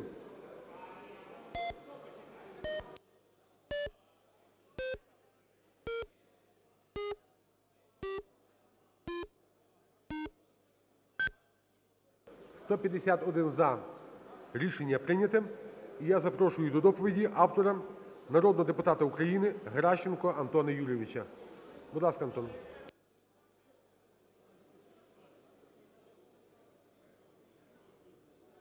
Шановні народні депутати, шановний український народе, шановний головуючий. Цей законопроект, він дуже простий. Цим законопроектом ми пропонуємо підвищити штраф за непристебнуті ремені безпеки в автівках, за те, що люди, хто їздять на мотоциклах, не користуються мотошоломами. Цей законопроект не для того, щоб е, увеличити поступлення до бюджету за рахунок штрафів. Цей законопроект для того, щоб привернути увагу громадян, що потрібно берегти свої життя. Будь ласка, кожен, хто сидиться до автівки, повинен пристьобуватися. Пасажири повинні пристьобуватися. Кожен мотоцикліст повинен носити автошолом. Але коли штраф 51 гривня, багато хто про це забуває. І навіть якщо водій думає, що він ідеально водить машину, що він найкращий, що він знає всі правила дорожнього руху, він не застрахований від того, що інший водій погано знає правила дорожнього руху, вріжеться в його автівку і будуть гинути люди або отримувати, великі травми. Загальновідомо в світі, що ті, хто користуються мотошоломами та пристьобуються ремнями безпеки, мають більший шанс вижити або отримати менше травми під час зіткнення. Але коли штраф лише 51 гривня, то поліцейські просто е, не можуть адекватно штрафувати тих осіб, які порушують закон. Тому я пропоную підтримати цей закон за основу і цілому, підвищити штрафи.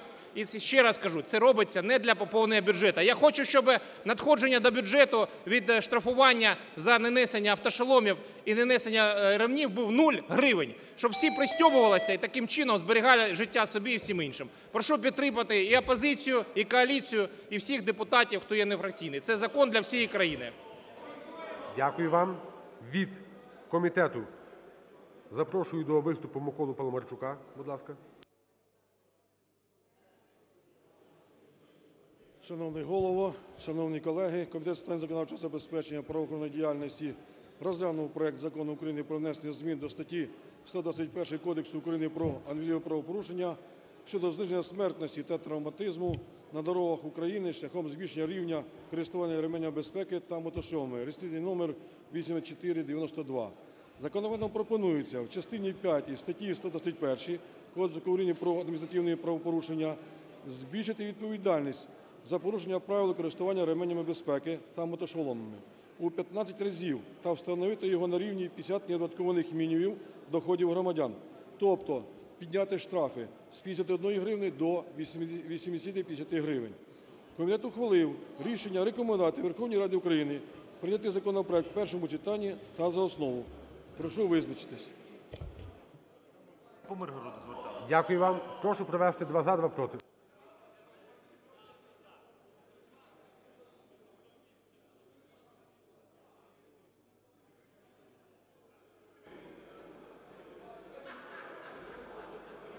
Фракції "Опозиційний блок" Павлов Костянтин. Прошу передати слово народному депутату Немченку- Німченка. Будь ласка.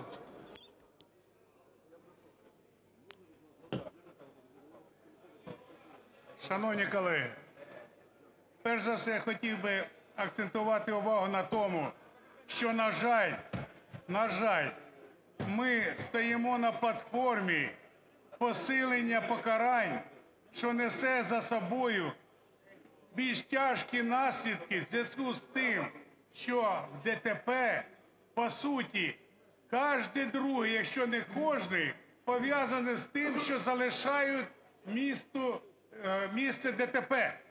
І в тому числі залишають людей е, на произвол і на відданість природі смерті. І тому вести мову про те, що шляхом жорстокості покарання ми можемо вирішити цю проблему невірно. Подивіться останні дані про ДТП, де завжди, завжди зробив утік, збив, убив, утік, збив, навіть живу людину кинув і втік. Тому що за цим стоїть ті покарання, про які тут вели мову, 45 тисяч, 60 тисяч і все інше. Порівняльно е, з практикою світу такого немає. Тому я хотів би, щоб все-таки ми виходили не з принципу жорстокості, а з принципу попередження, попередження ДТП. Спасибі. Дякуємо, шановний колега, і запрошуємо до слова е, від радикальної е, партії Олег Ляшко. Будь ласка, позицію вашої фракції представте.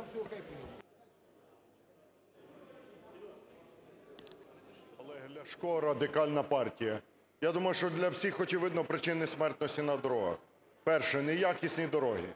Таких доріг, як в Україні, немає ніде в Європі.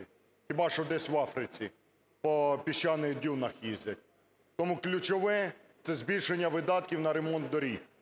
Щоб якісно робили, щоб не крали, а ті, хто краде, закопати в тих ямах, з яких вони крадуть, і будують собі маєтки. Друга причина безвідповідальність і п'янство водіїв. Минулого року 3 тисячі людей загинуло через п'яних водіїв. Хтось втратив дітей, батьків, бабусів, дідусів через те, що якийсь е, алкаш залив собі очі, сідає за кермо, бо кудись спішить. Колись е, давно в моїй молодості один мій знайомий мені казав: краще на 5 хвилин пізніше приїхати додому, ніж на 5 хвилин раніше приїхати в морг.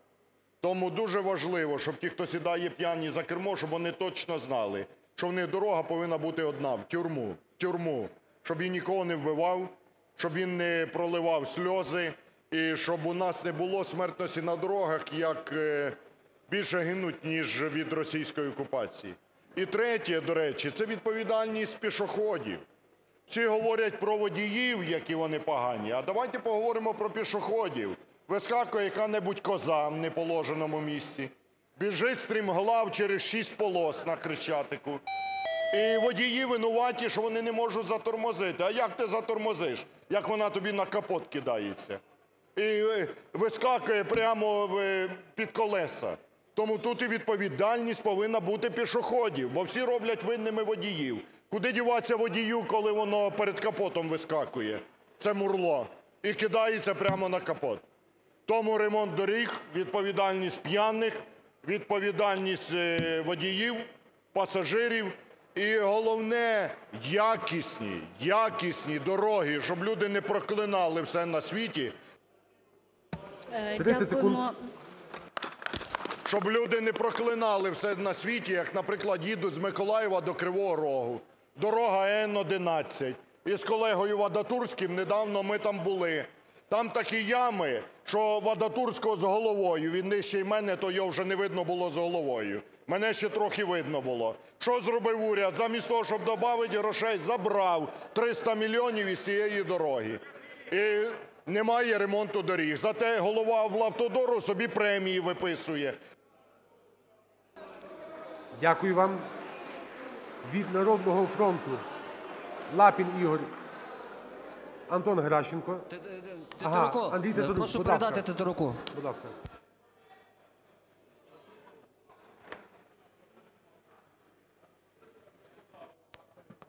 Андрій Тетерук, "Народний фронт". Дійсно, питання, яке ми зараз обговорюємо, є надзвичайно важливим, тому що йдеться про людську долю і про людське життя. І з давних давен в усіх суспільствах до людського збереження людського життя ставилось надзвичайно серйозно. Не виключенням є і наша держава, яка на рівні Конституції закріпила людське життя як найвищу цінність нашого суспільства. Але дуже прикро бачити, як е, певні водії або пасажири нехтують елементарними заходами безпеки і сідають в автомобіль, вважаючи це частиною е, якоїсь розваги або е, ставлячись абсолютно несерйозно до персональних заходів безпеки під час перебування в автомобілях. І тому цей законопроект дійсно має привернути увагу кожного з нас, е, всіх тих, хто користується щодня автомобілями, щодо використання тих пасків безпеки, якими обладнані сучасні автомобілі. І тут е, є дуже важливим усвідомлення персональної відповідальності не тільки водія, але й пасажирів про те, що не слід ігнорувати е, паски безпеки, не слід використовувати заглушки, аби е, система е, попередження автомобіля про невикористання е, пасків безпеки не псувала там, наприклад, настрій.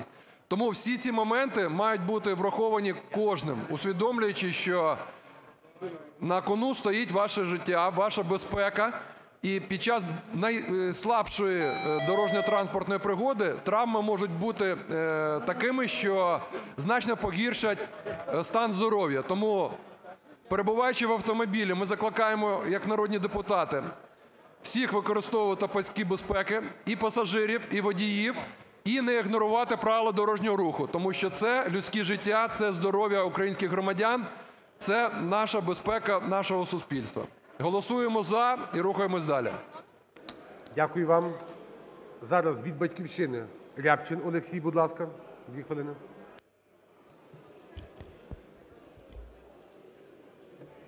Рябчин Олексій, фракція Батьківщини Донеччини. Я є співавтором даного законопроекту, так само, як мій колега з «Батьківщини» Іван Крулько. Фракція «Батьківщина» буде підтримувати цей законопроект і закликає всіх доєднатися до голосування. Однак я хочу зазначити, що цей законопроект був ініційований громадянським суспільством, небайдужими хлопчиками та дівчинами, які бачать, що кожного дня на українських дорогах за те, що люди не пристягуються, за те, що вони використовують заглушки, за те, що вони не одягають шоломи, гинуть велика кількість українців, наш, наших з вами побратимів, які б могли би е, працювати, жити, радіти життю. Однак, на жаль, із-за того, що держава не регулює це питання достатнім чином, в нас є велика е, кількість трагічних випадків. Зараз штраф стає зараз наш штраф 51 гривня. Якщо ми збільшуємо її до 750 гривень, я дивився сюжети, які зробили журналісти різних телеканалів в підтримку цього законопроекту, і запитали українців, чи будете ви пристягуватися, якщо буде штраф збільшений. Українці відповідали так. Я, я закликаю підтримати цей законопроект, в тому числі тому, що за даними Всесвітньої організації охорони здоров'я, ремені безпеки могли б урятувати 50% учасників смертельних ДТП та захистити потерпілих від тяжких травм. Аналогічний ефект дають і мотошоломи. Їх використання знижує ризик загибелі до 40%, а важки- важких травм приблизно до 70%. В парламентських делегаціях, займаючись парламентською дипломатією, ми бачимо в Європі, в Сполучених Штатах, в інших країнах. Машина і води не поїде, якщо ти не, присті- не- будеш пристягнутим. Тому що розуміють, будуть штрафи і буде висока відповідальність. Якщо ми інтегруємося в Європу, давайте і поводитися як європейці. Я сподіваюся, що комітет, який очолює пан Кажемякін, в якому є представники всього, всього всіх фракцій коаліції і опозиції, якісно допрацює інші законопроекти, щоб підійти комплексно до цього питання і по дорогах, і по е, інших речах, які зараз е, потребує випробування. Голосуємо за цей законопроект, врятуємо життя українців. Дякую вам. Від "Блоку Петра Порошенка" Сергій Каплін, будь ласка. Одноз- Однозначно потрібно голосувати за цей е, законопроект, але мене особисто турбує інше питання. 27 років пострадянська людина їздила за кермом автомобіля непристібнутою. Це звичайно велика вада. Якщо її оштрафували, за що вона платитиме? Де вона візьме е, ті для сьогодні космічні гроші для того, щоб заплатити такий штраф? Тому ми повинні боротися за пенсії, за зарплати вищі, щоб наш простий чоловік відчував себе впевненим, навіть коли платить за порушений закон. Далі ми маємо приклади показувати. Всі депутати, політики пристібатися. І останнє Виборці мені написали, баба Настя, до речі, з е, сусіднього з моїм селом написала питання, що робив Ляшко з Вадатурським в ямі? Питання. Від фракції «Самопоміч» Діденко. Дві хвилини, так, дві хвилини. І потім е, Юрій Левченко, будь ласка. Шановні колеги, я 4 роки професійно займаюся безпекою дорожнього руху. Ми маємо підкомітет безпеки дорожнього руху. І тому хочу відповідно вам заявити, що кожного дня ми маємо загибель 12 чоловік на дорогах. Чому вони гинуть? 40% це перевищення швидкості, 20% це перехресть, поганий переїзд, і 8% це п'яний за кермом. Що потрібно робити? Потрібні закони. Да? Цей закон, який ми розглядаємо зараз, він має також бути для того, щоб люди не гинули, але він сам працювати не буде. Хто буде контролювати на дорогах виконання закону? Ніхто. Поліція, яка сьогодні займається контролем безпеки дорожнього руху, не має відповідних автомобілів. Ми не маємо дорожньої поліції. Тому я хотів звернутися до голови Верховної Ради, також взяти законопроект 7286, що ми його розглянули. Він додає елемент контролю водіїв на дорогах. Також, якщо ми розглянемо приклад літаків, ми говоримо, що в літаках всі пристебуються, так? А чому не пристебуються на машинах? Тому що немає контролю. Повинно повернутися до контролю на дорогах. Друге питання бюджетні кошти. Ми багато говорили про безпеку і говоримо, давайте спасати життя людей, але країна до цього часу не виділа жодної копійки на безпеку дорожнього руху. Тільки завдяки цьому парламенту ми маємо 5% дорожнього фонду на заходи з безпеки дорожнього руху. Бюрократичні процедури затримують реалізацію цих коштів. Ми зараз маємо в бюджетному комітеті постанову, яка розблокує ці кошти. Тому я прошу колег для того, щоб розглянути цю постанову і розблокувати кошти на автоматичну фіксацію, на підсвітлення пішохідних переходів і на багато заходів, в тому числі комплектацію лікарень. І третє локалізація відповідальності за безпеку дорожнього руху. Нам Європейський Союз, нам всі приклади, всі країни, які займаються професійною безпекою дорожнього руху, пропонують консолідувати заходи з безпеки в окремі інституції. Цей законопроект у нас е, в транспортному комітеті знаходиться 8216, Його потрібно розглянути в залі. 30 секунд, будь ласка. і підходять до безпеки дорожнього руху комплексно і професійно, тому що можемо говорити, багато законів приймати, але вони не будуть працювати. Ми з вами прийняли три роки тому законопроект про фотофіксацію, але воно не працює, тому що він не має, має недоліки. Тому я вважаю, що законопроект, який ще готує поліція стосовно розподілення коштів, перший раз громадяни відчувають свою причасність до безпеки дорожнього руху. В законопроекті написано, що кошти від штрафів підуть на заходи з безпеки дорожнього руху. Давайте приймемо. Дякую вам. Отже, колеги, зараз одна хвилина Юрій Левченко. Через хвилину переходимо до голосування. Я прошу усіх голів фракцій запросити депутатів в зал, а також секретаріат Верховної Ради запросити усіх депутатів в зал. Через хвилину голосування. Будь ласка, Левченко, одна хвилина. Левченко, Свобода, 223 округ, місто Київ. Е, Безперечно, що цією жахливою проблемою треба щось робити, і треба в першому читанні за цей законопроект голосувати. Але є низка суттєвих проблем пов'язаних з цією ситуацією. По-перше, а хто взагалі е, буде це питання впроваджувати в життя? Так, та ж сама так звана нібито реформована поліція, яка нічим не відрізняється від поліції е, Януковича, так? Вона буде це впроваджувати в життя? Очевидно, нам дуже добре вона його в життя не провадить ці моменти.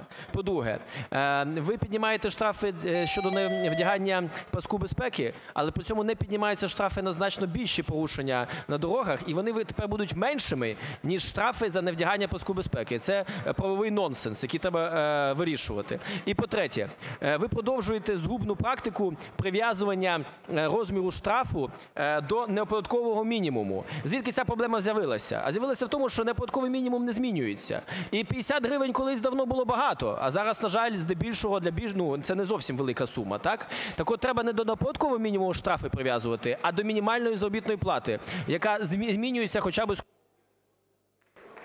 30 секунд. Е, Якщо цього не робити, якщо ви далі прив'язуєте штрафи до податкового мінімуму, то виходить так, що кожен раз, раз на певну кількість років, Верховна Рада буде змушувати змінювати е, цю норму для того, щоб е, встигати за інфляцію. Бо через інфляцію кожний певний час ці штрафи будуть ставати абсолютно не, не, нецікавими і не будуть впливати на ситуацію. Тому відходьте від цієї абсолютно неправильної практики законодавчої. Отже, колеги, Прошу займати робочі місця. Прошу з лож повернутися в зал, приготуватись до голосування. Поки всі заходять в зал, хочу вас повідомити, що до мене звернувся комітет з проханням, оскільки лишається небагато часу, перенести голосуванням проект Закону про внесення змін до статті 7 Закону України "Про прокуратуру" на розгляд сьогодні, 7271. Подивіться по фракціям, чи всі підтримують дану пропозицію комітету. Це про забезпечення діяльності Спеціалізованої антикорупційної прокуратури. Після голосування я дану пропозицію комітету поставлю на голосування. А зараз ми голосуємо проект Закону 8492. І прошу усіх взяти участь в голосуванні. І я ставлю на голосування проект Закону про внесення змін до статті 12 121 Кодексу України про адміністративні правопорушення щодо зниження смертності та травматизму на дорогах України шляхом збільшення рівня користування ремнями безпеки та мотошоломами (номер 8492) за пропозицією комітету за основу. Прошу голосувати. Прошу підтримати безпеку на українських дорогах. Голосуємо, підтримуємо. Голосуємо, колеги. Прошу підтримати.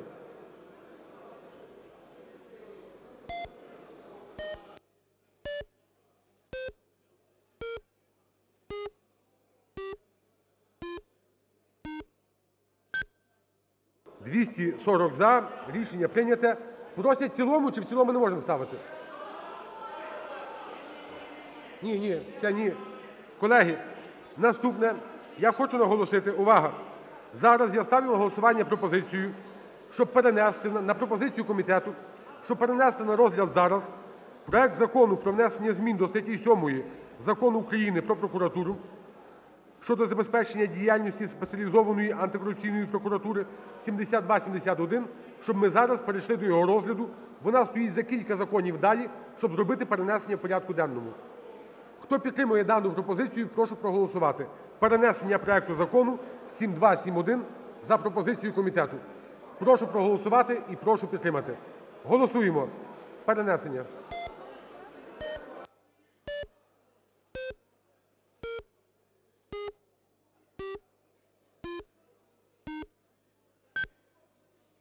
«171 – за». На жаль, надто великий розрив. Я можу ще раз поставити. Добре, ще раз поставлю. Я ще раз ставлю. Я пояснюю, колеги, це комітет має пояснювати. Даний закон стосується того, що він в повноваженнях Спеціалізованої антикорупційної прокуратури робить їх більш незалежним органом. І в тому є одна невеличка зміна, як укріплення органів антикорупційних. І комітет просить, щоб це дуже маленька зміна. І сказав комітет, що були проведені всі попередні консультації. Тому я ще раз поставлю, хто не зрозумів. Перенесення для розгляду зараз проекту Закону 7271. Прошу проголосувати і прошу підтримати. Голосуємо за перенесення на розгляд зараз. Голосуємо.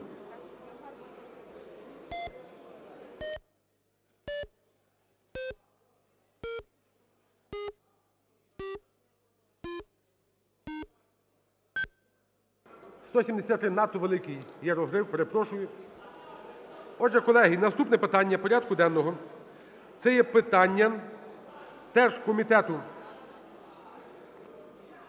Е, Проект Закону про внесення змін до деяких законодавчих актів України щодо врегулювання питання відпусток працівників театрів (номер 8528).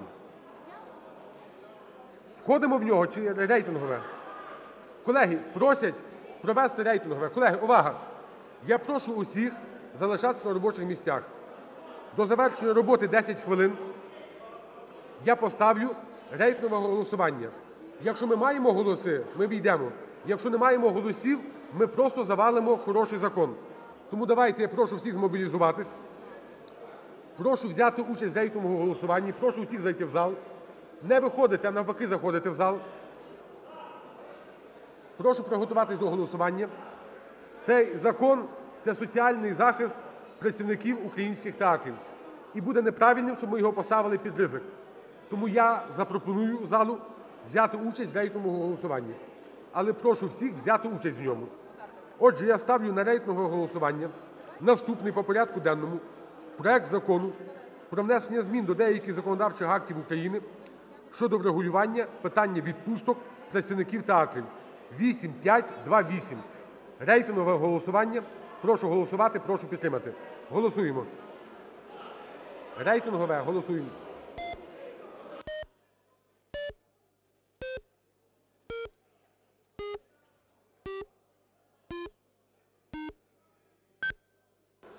«190». Колеги, давайте одну хвилину, Артур Герасимов, поясніть, будь ласка, одну хвилину. Колеги, лишайтесь на місцях. Давайте відповідально підійдемо до цього питання. Поясніть, це не йдеться про великі розтрати фінансів. Будь ласка, одна хвилина, Герасимов. Прошу всіх бути на місцях. Дякую, шановний Андрій Володимирович, шановні колеги. Це питання жодним чином не зачіпає державний бюджет, і воно стосується тільки одного: яким чином нам перше зберегти еліту нашої нації серед виконавців, які у нас є оперними співаками, які в нас є виконавцями в вітчизняному балеті, саме еліту, оту, яка співає на міжнародних найкращих майданчиках в Ласкала, в Метрополітен Опера, у Відні і так далі. І друге, яким чином дійсно зекономити кошти українським театрам, починаючи від Львова і закінчуючи театрами, які знаходяться на сході України. Це питання є надважливим. До нас зверталися керівники дуже багатьох українських театрів від Харкова до Львова. Тому прохання об'єднатися і підтримати цей законопроект за основу сьогодні. Підкреслюю, за основу. Дякую. Отже, колеги, я ще раз ставлю рейтингове голосування і прошу усіх взяти участь. Отже, я проводжу рейтингове голосування по проекту Закону про внесення змін до деяких законодавчих актів України щодо врегулювання питання відпусток працівників театрів (номер 8528). Прошу взяти участь в голосуванні і прошу підтримати, колеги. Прошу голосувати. Голосуємо.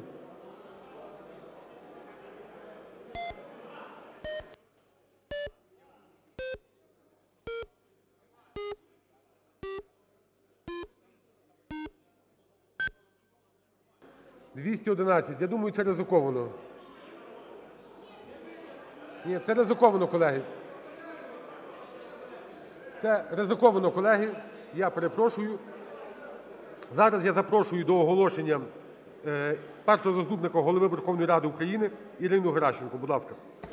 Дякую, шановні колеги. Ми сьогодні мали надзвичайно результативний насправді день і проголосовано десятки важливих законопроектів. В той же час е, до президії надійшло ще кілька оголошень від тих колег, якого не спрацювали картки під час голосування. І, зокрема, народний депутат е, Єгор Соболєв просить зачитати його заяву, що не спрацювала його картка під час голосування важливого антикорупційного законопроекту про забезпечення прозорості у видобувних галузях 6229, а також під час проекту Закону про внесення змін до деяких законодавчих актів України щодо удосконалення забезпечення дотримання прав учасників кримінальних проваджень та інших осіб правоохоронними органами під час здійснення досудового розслідування. І Єгор е, просить врахувати його голоси "за". І також до президії надійшла заява від народного депутата Парасюка е, щодо того, що його картка не спрацювала під час так само голосування за законопроект 6229, що стосується забезпечення прозорості у видобувних галузях. І можна тільки вітати, що сесійну залу і всі фракції об'єднав цей важливий законопроект щодо прозорості надання ліцензій. Дякую, колеги. Дякую вам, колеги.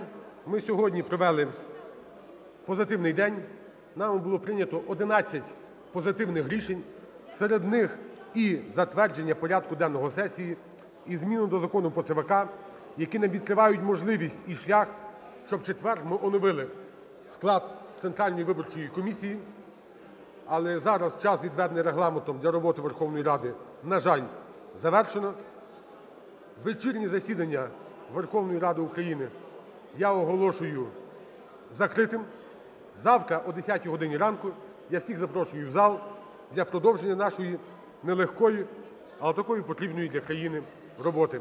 Дякую вам, колеги. Всього найкращого.